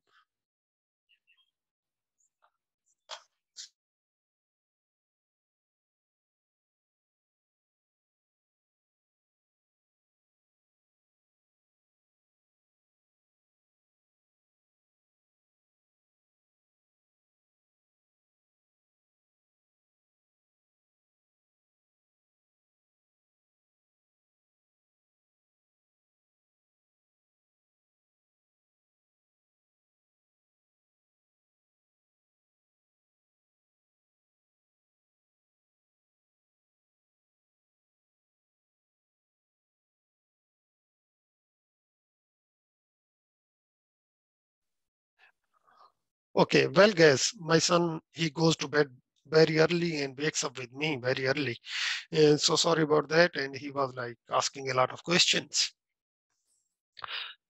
Can we resume our discussion again? Okay, guys. Uh, yeah, thanks, Barros. So, uh, discipline agile their terminologies are standard. Uh, standard mean generic. They are not uh, unique or specific. For example, they call iteration as an iteration, team lead as a team lead. They don't call them scrum master or agile coach. They don't call daily scrum meetings or huddle, etc. They just call it daily meeting or daily coordination meeting. Retrospective is like uh, just retrospective. Team is team. And uh, architecture owner is just uh, someone who uh, take the responsibility of solution arch uh, architecture and domain expert is just a domain expert who knows the business. Uh, it could be called customer uh, by XP team or uh, Scrum team, so on, so forth. Now, we understood different roles, we understood different, different terminologies um, by discipline agile. The next thing is discipline agile, they believe in choice is good. Why they think choice is good? Because they feel that um, context of each team, each enterprise, each project, each product is different from other. So what they do is they provide you the choice of life cycles. In total, they support six different type of life cycles that are based on agile and lean life cycles. The first one is Scrum based agile. As we said that we don't deny Scrum, but we say that we only choose the right practices from Scrum. This is a project-based life cycle when instead of uh, long-standing product teams, our teams are gathered together to work on a product in a project fashion. Mean for one release, for example. And the other life cycle is continuous delivery agile life cycle. These both came from agile, whereas discipline agile supports two more life cycles that are based on lean. One is Kanban based lean the other one is continuous delivery lean.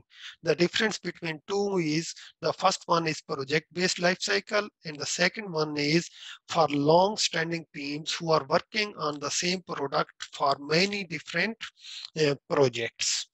There are two more life cycles. The one is called exploratory this life cycle is based on lean startup. This is something when you are going to do some experiment to create some like MVP, minimum viable product, to see that if this product will be acceptable for the users or not. And the last life cycle that is supported by discipline agile is program life cycle. And this is uh, when uh, agile is on the enterprise level. Or in other words, when there are team of teams. When multiple teams are working on a product, then in that case, uh, the life cycle that comes in is called program life cycle. Any question? Okay, the purpose of providing the choices is, uh, again, uh, we believe that different teams, they have their unique situation and they can adopt a particular life cycle based on their need. Not only this choice is provided by Discipline Agile, but a guidance is provided by Discipline Agile toolkit to choose the right life cycle. Now, let's come back to one of the life cycle. That is our first life cycle.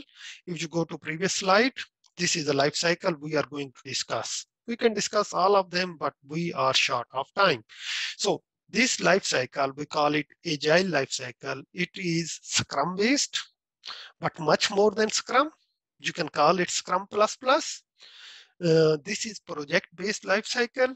Now let's have a look on this life cycle in this slide. Guys, look on this diagram, what it says.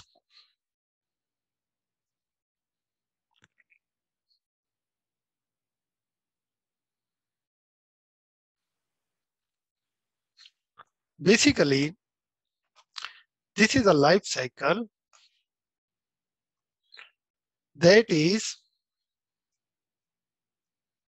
a scrum based development life cycle. And the block i put it here.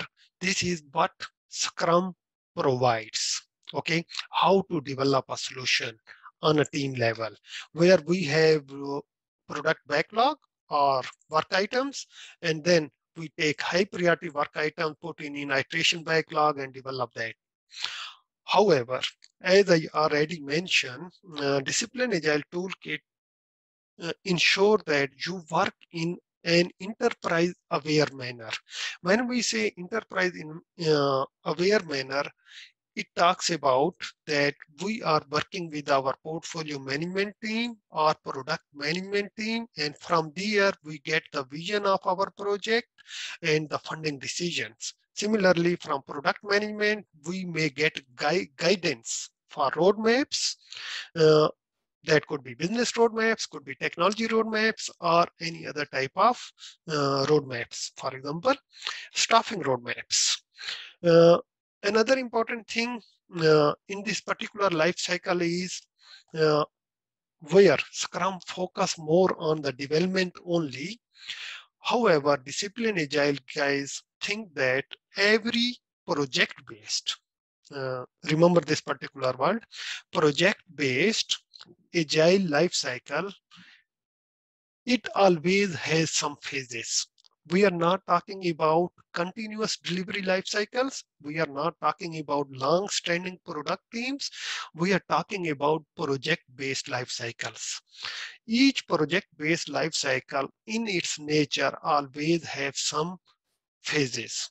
And here, if you look on this mm, uh, particular diagram, this agile based life cycle has three phases. The first one is inception. The second one is construction. And the third one is transition. Scrum guys, mm, they also use these phases, but they don't call it phases. They still call them sprints. They still call the inception phase as a sprint zero. And the purpose of sprint zero or inception is basically to agree on the vision, uh, to, uh, to agree on high level scope, to agree on the team structure, mm, agree on the initial version of the architect, uh, secure some funding, uh, and at the end, just get enough so that we can start our construction of the work. Yes, Usman. Uh, as you mentioned here that we call these uh, with different terminologies in Scrum, like inception and construction, and Mm. like in the form of sprints. Mhm. You know, I- I'm why I was confused in the early uh, in in the beginning of the you know this uh, discussion, and still I have the question. I Mhm. have, you know, there is a certain confusion in the terminologies and jargons in a way.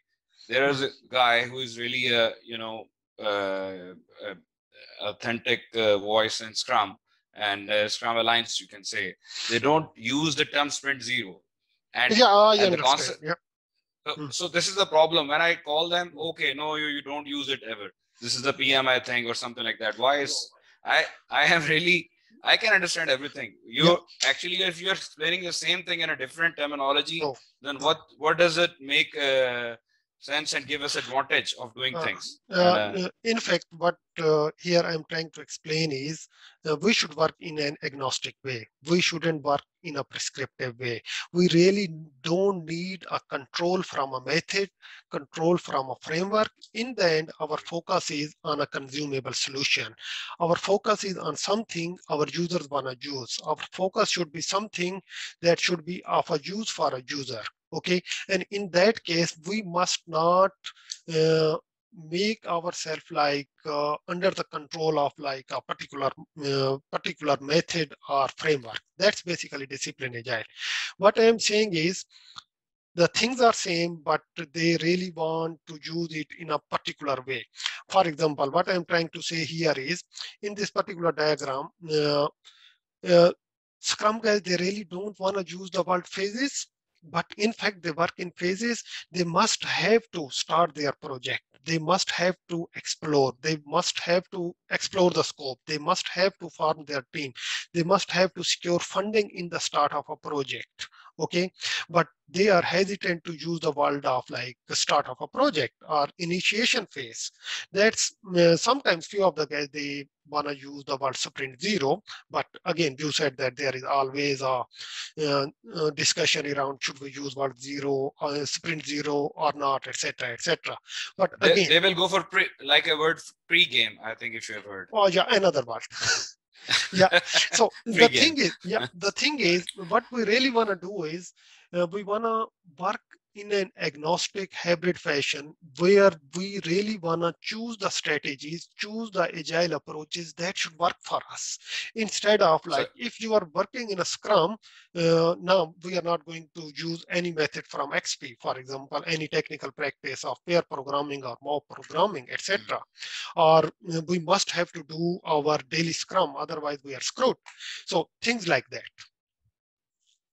So, so in, in short, can we say that there is no gold standard around? Yeah, for sure, for sure. Gold standard is our best practices. There are no best practices in the world. There are some practices that work fantastically in one particular context, but they might not work at all in another context. So we should work in a context uh, aware manner. Mean we should always consider our context while choosing. I think ag- ag- ag- agnostic is a very important keyword here in discipline. Yes. Yes. So we yes. should always focus on that thing. Yeah. Agnostic. Yeah, stuff. yeah, agnostic is very important. Another thing is enterprise aware matter. That is like even on a development level, on a team level, we should work while keeping our uh, enterprise requirements, enterprise level architecture, enterprise level vision in mind. That's another important thing. Another important thing, what I found out in discipline agile is uh, context. Context counts. So always you should have a choice to choose your way of working. You should have a choice to evolve your way of working. Choose one set of strategies, apply it, they work fantastic. Otherwise, keep on evolving, keep keep on improving your strategies. And the last thing is we should focus on technical excellence. That's very important. Instead of just focusing on the ceremonies, just focusing on lightweight artifacts from uh, different methods, so on and so forth. And the last important thing that I found very useful in discipline agile is lean governance. Agile guys, they really don't want any type of governance from uh, the stakeholders, from the sponsor or uh, portfolio level or product level, but this is not practical. when sponsor they spend money, uh, when uh, customer they spend money uh, in any form. Uh, it could be fixed for a value stream. It could be fixed for a product, but still they always want to see that what team is doing. No doubt team is self-organized, self-managed. They show their work in a transparent manner, but uh, it's always good to give confidence to the customer, to the sponsor, though, so that they can aware of what's happening at the team level. No doubt they are not going to ask for the status reports. They are not going to ask for any other particular document for the governance sake. But still they should aware that what's happening on a team level. And for that sake, uh, if you look here at the bottom, uh, there are Mm, a lean governance is implemented here. There are some milestones on different phases. Remember guys, we are just talking about our first life cycle. We are not going to talk about our next life cycles that are continuous delivery life cycles. Okay, continuous delivery life cycles are a bit different than these this life cycle. Uh, here our focus is project-based life cycle where a team is gathered together for a project. That could be just first re release of a product or a solution or a service. Okay. Now uh, we are talking about the lean governance. Lean governance is implemented with the help of not status reports, not artifacts, not uh, mm, uh, uh, not some documents, but with the help of lightweight, risk-based milestones. For example,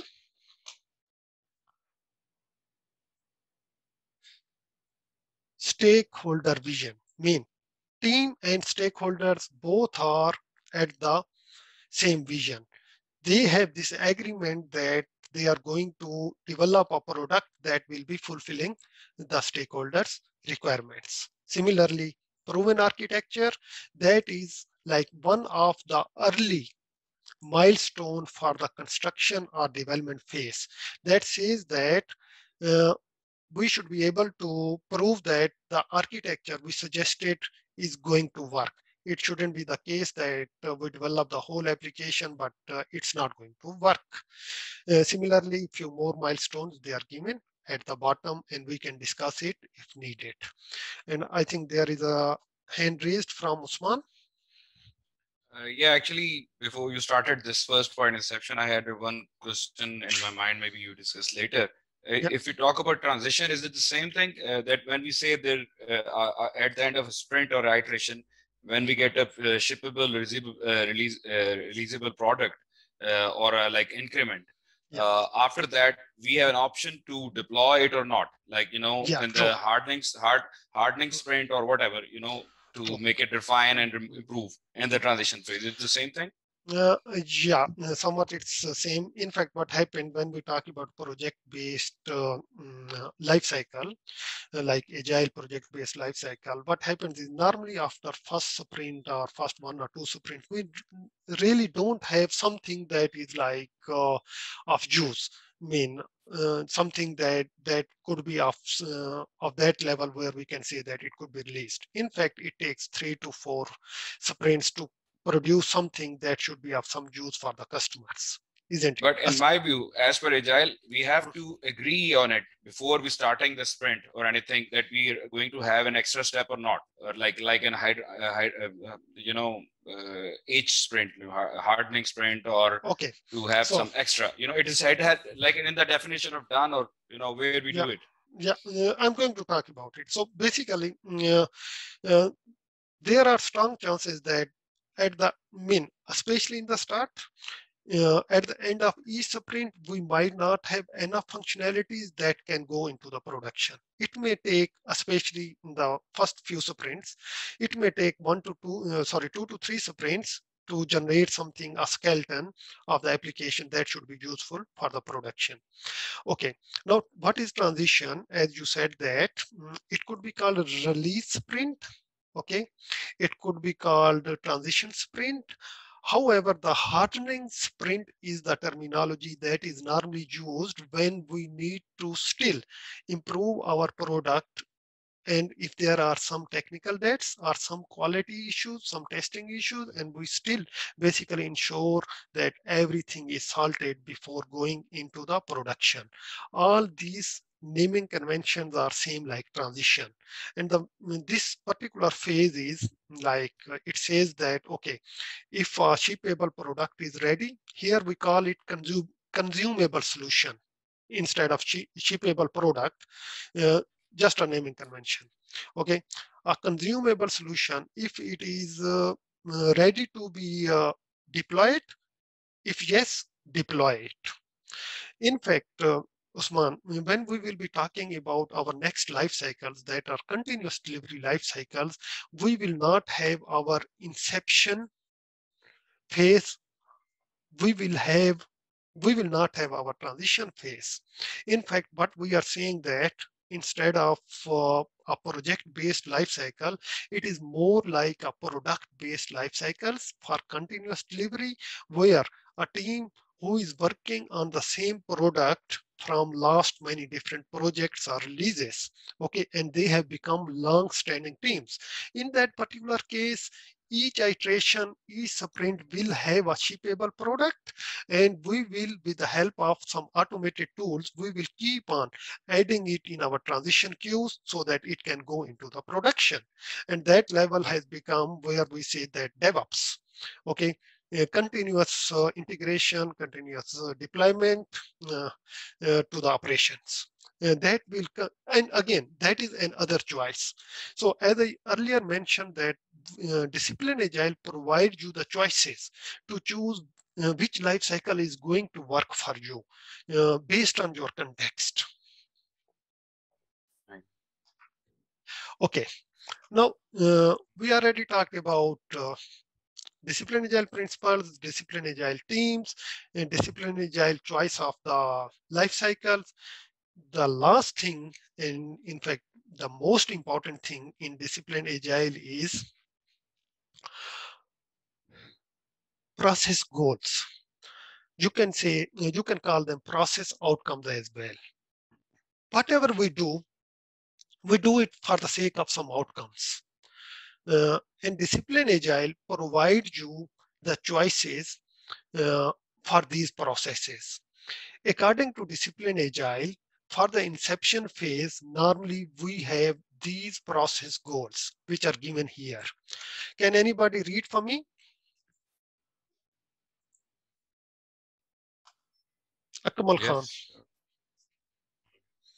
Yes, Akmal.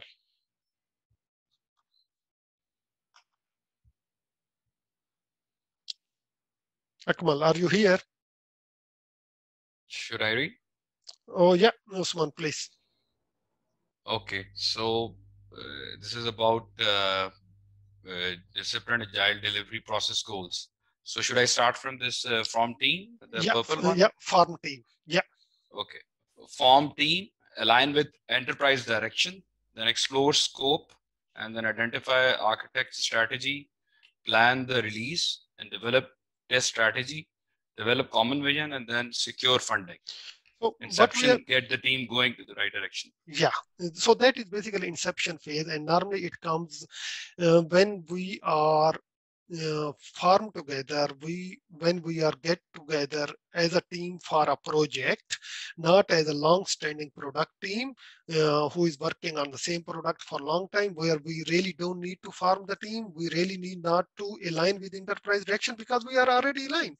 Uh, we already know the scope again at a high level not like that waterfall uh, at a epic level. Similarly we are uh, we are uh, happy with our uh, architecture strategy. We know that how we are going to release. we know that testing we are going to use, the testing methods we are going to use. We know the vision of the product, so on and so forth. And funding is already secured for a particular product or a, for a particular value stream. However, in case if we are going to start a project or product from start, then these are the eight process goals that normally we really want to do it. Isn't it? And then there comes uh, mm, uh, five more process goals, and these process goals are during the development work. And uh, I would request someone else. mm, uh, yes, Tevinga, uh, sorry, Tevingova Matsubova. I'm sorry if I pronounce it wrong. Would you like to read it for me?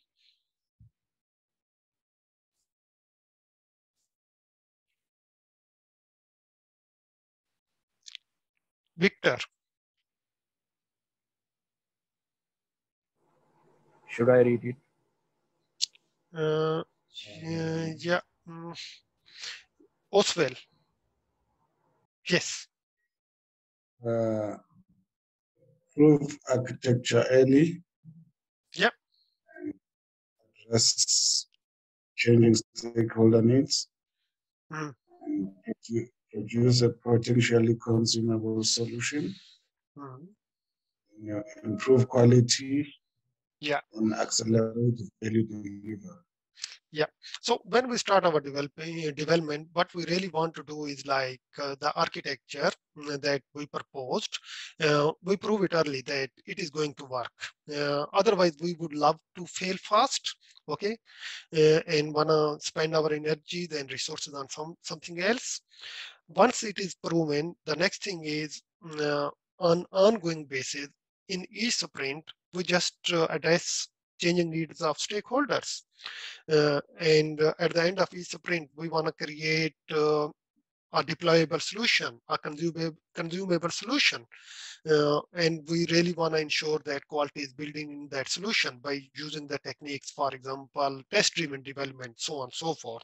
And we really want to deliver our value in a more often and early manner for the competitive advantage of our clients. So this is some of the process goals uh, used by used during the construction phase. And then there comes the transition phase, two process goals. One, ensure that production is ready, I mean, our solution is ready for um, ready to transit to production. And if it's ready, deploy that solution. And then there comes the last six process goals that are on ongoing basis throughout different phases or for later life cycles like continuous life cycles yeah, like in the development life cycle these activities are being done on regular basis. Grow team members coordinate activities address risks evolve our way of working leverage and enhance existing infrastructure and govern delivery team obviously in a lean manner. So these are process goals. Uh, what i have seen is like uh, we are we took too much of time in our discussion, isn't it? So what I am going to do, I will skip my last, uh, sorry, upcoming session and we'll complete this session only. Okay. Now let's talk more about it. Um, and uh,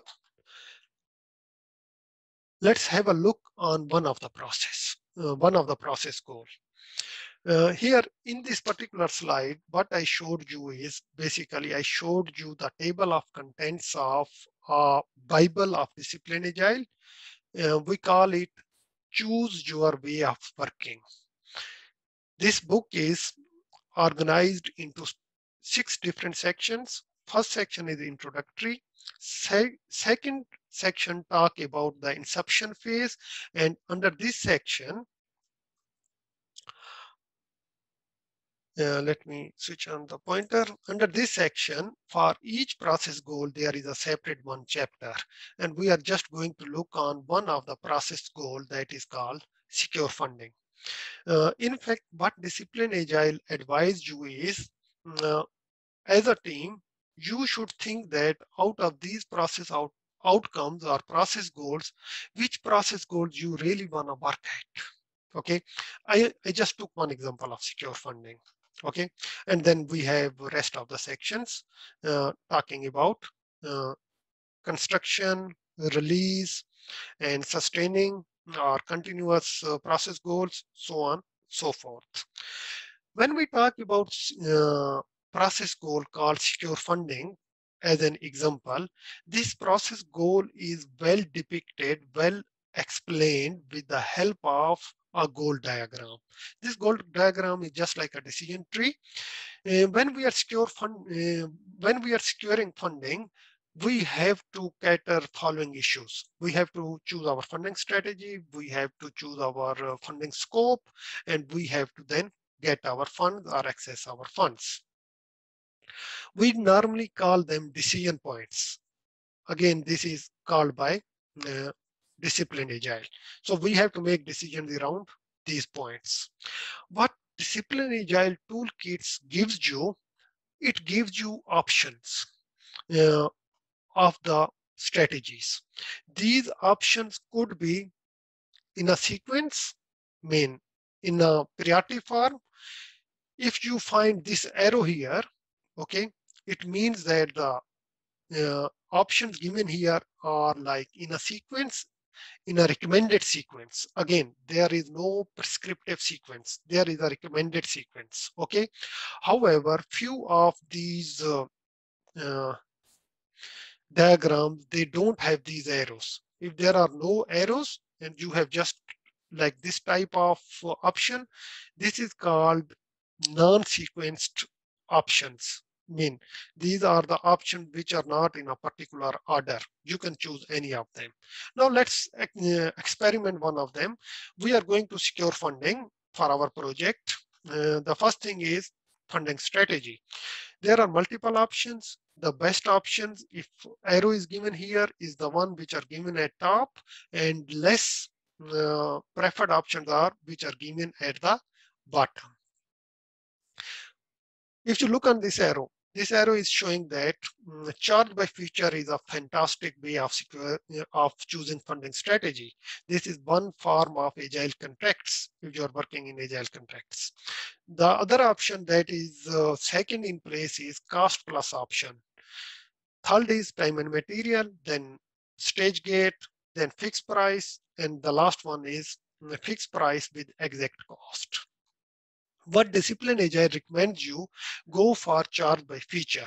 But what happens is uh, many organizations, they are adopting agile. They are not fully agile. For them, it is very difficult to digest for this method, charge by, feature, uh, charge by feature in the start. In the start, uh, they might not like to allow you to go for an agile contract that uh, help you to charge by feature, charge by a user story, etc. Okay, in that case, what discipline agile recommends you uh, to go with the option that is okay in the start, that is a good option in the start, but you can always go for better option. So the options which are good and a good starting point are given in bold italic forms. Can you see here? Time and material and stage gate are two of the options that could be a good starting point for you. So it means that if your organization, your clients are not fully agile and they don't understand what does it mean charge by feature, then they might like to go for time and material. It could be a good starting point. Similarly, choose funding scope. Best is like funding should be based on value streams or line of business. If not, then at least on product based. And the last option is project based funding. Okay.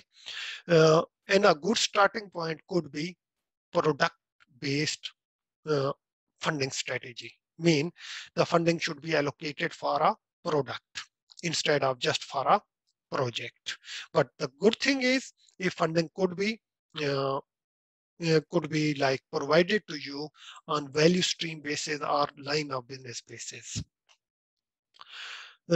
Access funds, mm, once funding is allocated, one of the good ways like there should be a funding pool where uh, funds could be extracted or if you have to make request it should be very informal and it could be a good starting point.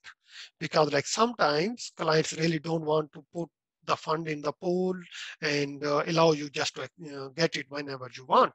And the last preferred option is a very formal request to access the fund all the times because it is a wastage.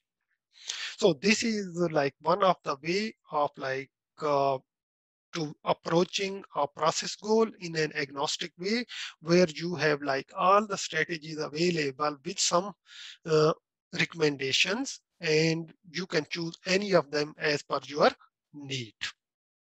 Any question here?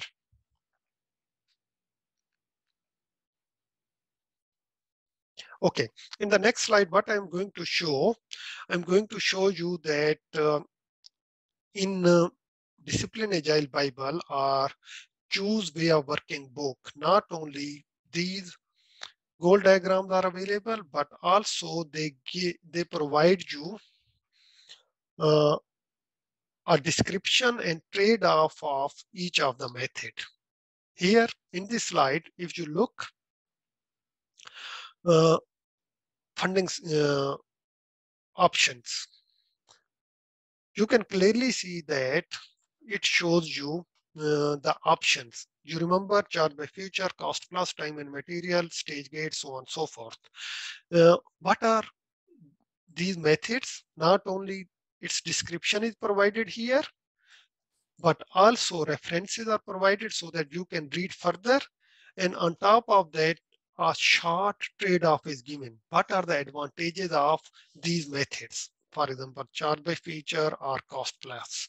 What are the advantages and what are the disadvantages? The whole trade-off is given so that uh, you should have a choice. You should have uh, an informed choice to choose one way or the other way. And then uh, another important concept has come here. I'm not going in depth of it, but I just want to go through it because it is very, very important. Discipline agile work in an enterprise aware manner. What it is saying that the whole DA landscape is not on a team level, it is on a uh, enterprise level.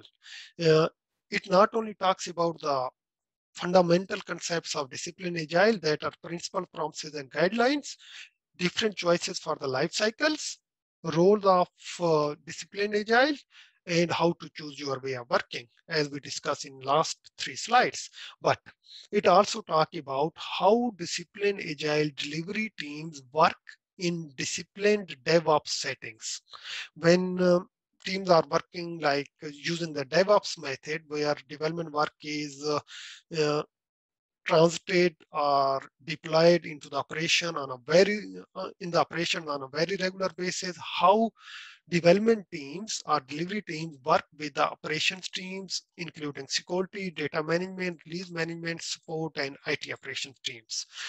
These are well supported with the help of process goals and process goal diagrams. Mean uh, there is a whole process goal that shows that how DA uh, discipline agile delivery team works with the security teams, data security, information security, network security, etc., or data management team, so on and so forth. Similarly, on the next layer, it shows that how teams work on the value stream level, where they have to work with the portfolio, product, and program teams, and where they have to basically um, do R&D, work with business operations, strategy team, governance, marketing, because it is on a value stream level. Uh, value stream is something like a particular um, uh, domain for which funding is allocated, marketing, continuous improvement, sales, so on and so forth. Similarly, on the highest level, discipline agile teams work at a enterprise level, same like SAFe, uh, where they consider enterprise architecture, uh, people management department, information technology, asset management, transformation, finance, vendor management, so on, so forth. So uh, DA is something that is like beyond uh, team level. It is uh, on the team level, but also on the uh, DevOps level, value stream and enterprise level. However, choose your way of working, uh, the book, uh, it is fully focused on um, discipline agile delivery level. It talks about uh, the DAD life cycles, either agile, lean, or continuous delivery life cycle or a program life cycle, and what are the different process goals, and how each process goal is uh, guided with the help of goal diagrams. Any question? I'm uh, skipping few more slides that talk about that how uh, on a value stream level, sorry, on the DevOps level, how each process area or process blade is supported with the uh, guidance uh, of goal diagram. Uh, this is DevOps. Uh, I, I, believe that most of you know about it. This is where development and an operation then they work hand in hand so that um, development could be trans translated to operations on regular basis uh, in a uh, in a uh, in a good manner uh, where it should be working in the operations. This complicated diagram shows that how DAD teams work with uh, DevOps uh, people, including IT, IT, operations, support, data management, uh, business operations. Business operation is at enterprise level though, uh, security, etc., and uh, how the feedback is given uh, given from DA level to the uh, IT operations and from IT operations back to uh, development team. So development and operations, how they work together and how DA toolkit supports it. For example, one process area of DevOps was release management, and this release management is supported with the help of goal diagram. And that was basically end of uh, session three, uh, sorry, section three. There are three more sections, but uh, I'm just going to skip these sections. The reason being is like uh, we already covered a lot and uh, we have very less time available. Now, if you are interested in discipline agile certifications, uh, I can quickly cover that particular section. Otherwise, you can just contact me directly and can ask any question if you have.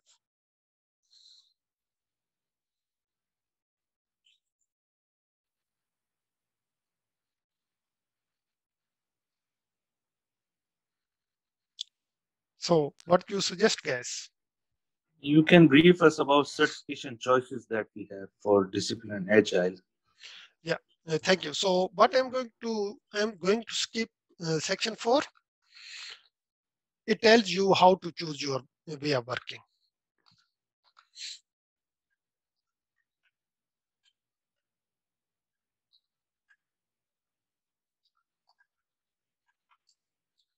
That's quite a lot in it. Now let's come back to our um, DA certifications or PMI certifications. As I mentioned, mm, PMI recently acquired um, Discipline Agile. Now all the certifications are under a suite called uh, PMI Agile certifications. In total, there are five certifications. Uh, most of you are aware of ACP, Agile Certified Practitioner by PMI. Uh, this certification is for those guys uh, who really want to learn many different uh, agile uh, methods and agile concepts. Mm, uh, it was offered back in 2012, but um, my today's focus is on discipline agile certifications. In total, there are four certifications. First one is Discipline Agile Scrum Master. The second one is Discipline Agile Senior Scrum Master. Then we have Discipline Agile Coach. And the last one is Discipline Agile Value Stream Consultant. Now, there could be a question, uh, why Scrum Master? It's a Scrum term. Basically, now it, it Scrum Master has become that famous instead of like a Scrum role, it has become a job. Okay, so people are looking for like Scrum Master uh, they're advertising this job like this scrum master okay? So that's why they really don't want to go away from this market so that they call them discipline agile scrum master. Noman please ask a question. There is only one question. Uh, i um, maybe this is a, a advanced question. Uh, i recently heard that they have transformed dasm to dassm i mean anybody who wants to do dasm uh, can go for DA SSM. Mm-hmm. Uh, am I correct? Uh, not really. No one basically DASS, uh, sorry, DASM, that is Discipline Agile Scrum Master, that is for those guys who don't have experience in uh, Agile or Discipline Agile or any other method, uh, but they want to learn about it. They want to learn Agile and how uh, Discipline Agile looks at the Agile. Okay. So no experience needed for that. Mm, uh, there is a training course of 16 hours. And uh, yes, Kennedy. Uh, thank you. Uh, I, I just wanted to check whether the Mhm. disciplined agile scrum master is uh, um, equivalent to the to the other scrum uh, certifications around like the certified scrum master and uh, those other are, are they are they equivalent or it, it, it, it's different Uh, what I would say is like there is no standard for the certifications. Uh, senior Scrum Master, oh, sorry, certi- certified Scrum Master is focused on Scrum itself. But when you will do Discipline Agile Scrum Master, it will tell you how to use Discipline Agile toolkit to improve the performance of your team and help your team to work in an agile way, but uh, with an agnostic method agnostic manner. So we really cannot compare them because there is no standard for it. However, if you want to compare, you can compare these PMI certification with each other, and I can comment on it. For example, Scrum Master is when you really want to learn more about. Sorry. Uh, so Scrum Master is when you don't have any experience or knowledge about Scrum, oh sorry, about uh, Agile, and you want to learn more about it, especially Discipline Agile, uh, you can do this uh, certification. It will be two days training, that is 16 hours of education. And then after that, you will be provided with the right learning material and you have to appear for the exam within 30 days of completing your training and exam fee, training fee, learning material fee, everything is included in the package. This is not common with PMI if you know the PMI. And then there comes a senior scrum master. This is for someone who either got ACP or who got two years agile experience, then they can go for next level where basically they can work as a leader on a team level. They can form the teams, they can develop the teams, they can um, mm, they can basically improve the team performance using emotional intelligence, use pragmatic techniques for uh, mm, uh, for choosing uh, way of working, using discipline agile, so on and so forth. Again, it will be a two-day training and then you have to pass exam within 30 days. Every fee is included within the package. Then there comes uh, next uh, certification. This is next level certification. This is for DA coaches. These are the guys who basically uh, train at an enterprise level, not only on the team level. Okay. Uh, the the focus of uh, agile coaches are bring real business agility within the organization both on team level on the departments level and on the enterprise level. It requires at least three years of experience and also discipline agile senior scrum master certification and a training of two to three days. And again for discipline agile coach uh, you need to appear for exam within 30 days and the last thing is a last certification is for those guys who work on a value stream level. Uh, this certification is called Discipline Agile Value Stream, Value Stream Consultant. It is basically amalgam of or combination of, yes, Usman. Uh, can we, because uh, can we have uh, all the details, uh, including the prerequisites and the fee and the training material, can we find on the PMI site? Yeah. All the certifications or Mm, You can ask us because like we are premier authorized training partners. PMI has this information on a high level, but uh, especially for the course, how to enroll for the course, then you can ask us. okay, then I can you can directly I can talk to you. Sure. Yeah, surely. And uh, this last certification that is value stream consultant, this is amalgam or combination of disciplined agile and another method called flex. Flex is a method that helps to minimize the waste uh, when we are working on a value stream level. Okay, the purpose is uh, to uh, bring more agility while working on this level.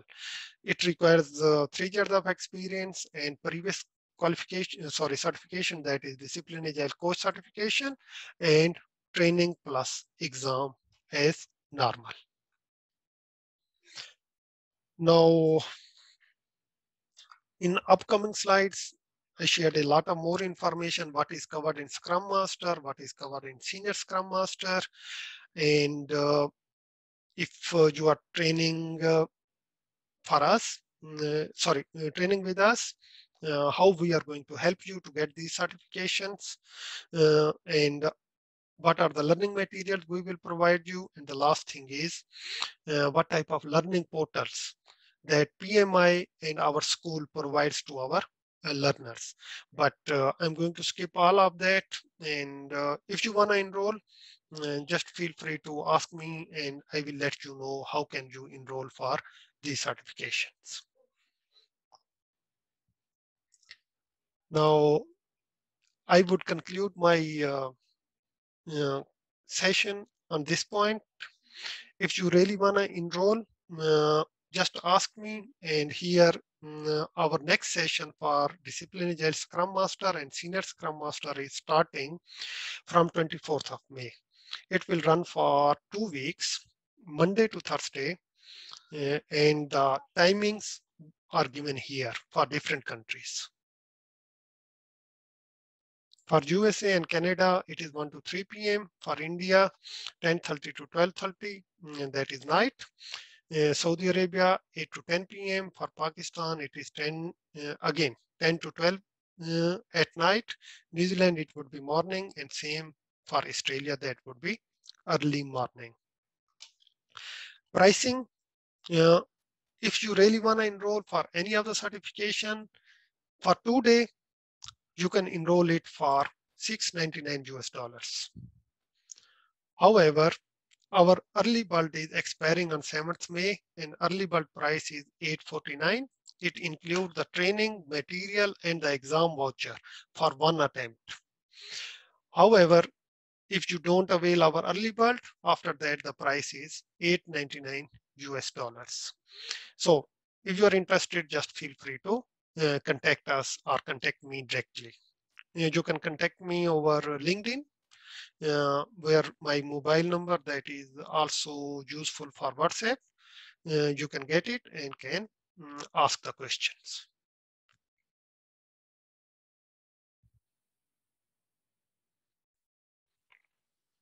Any questions?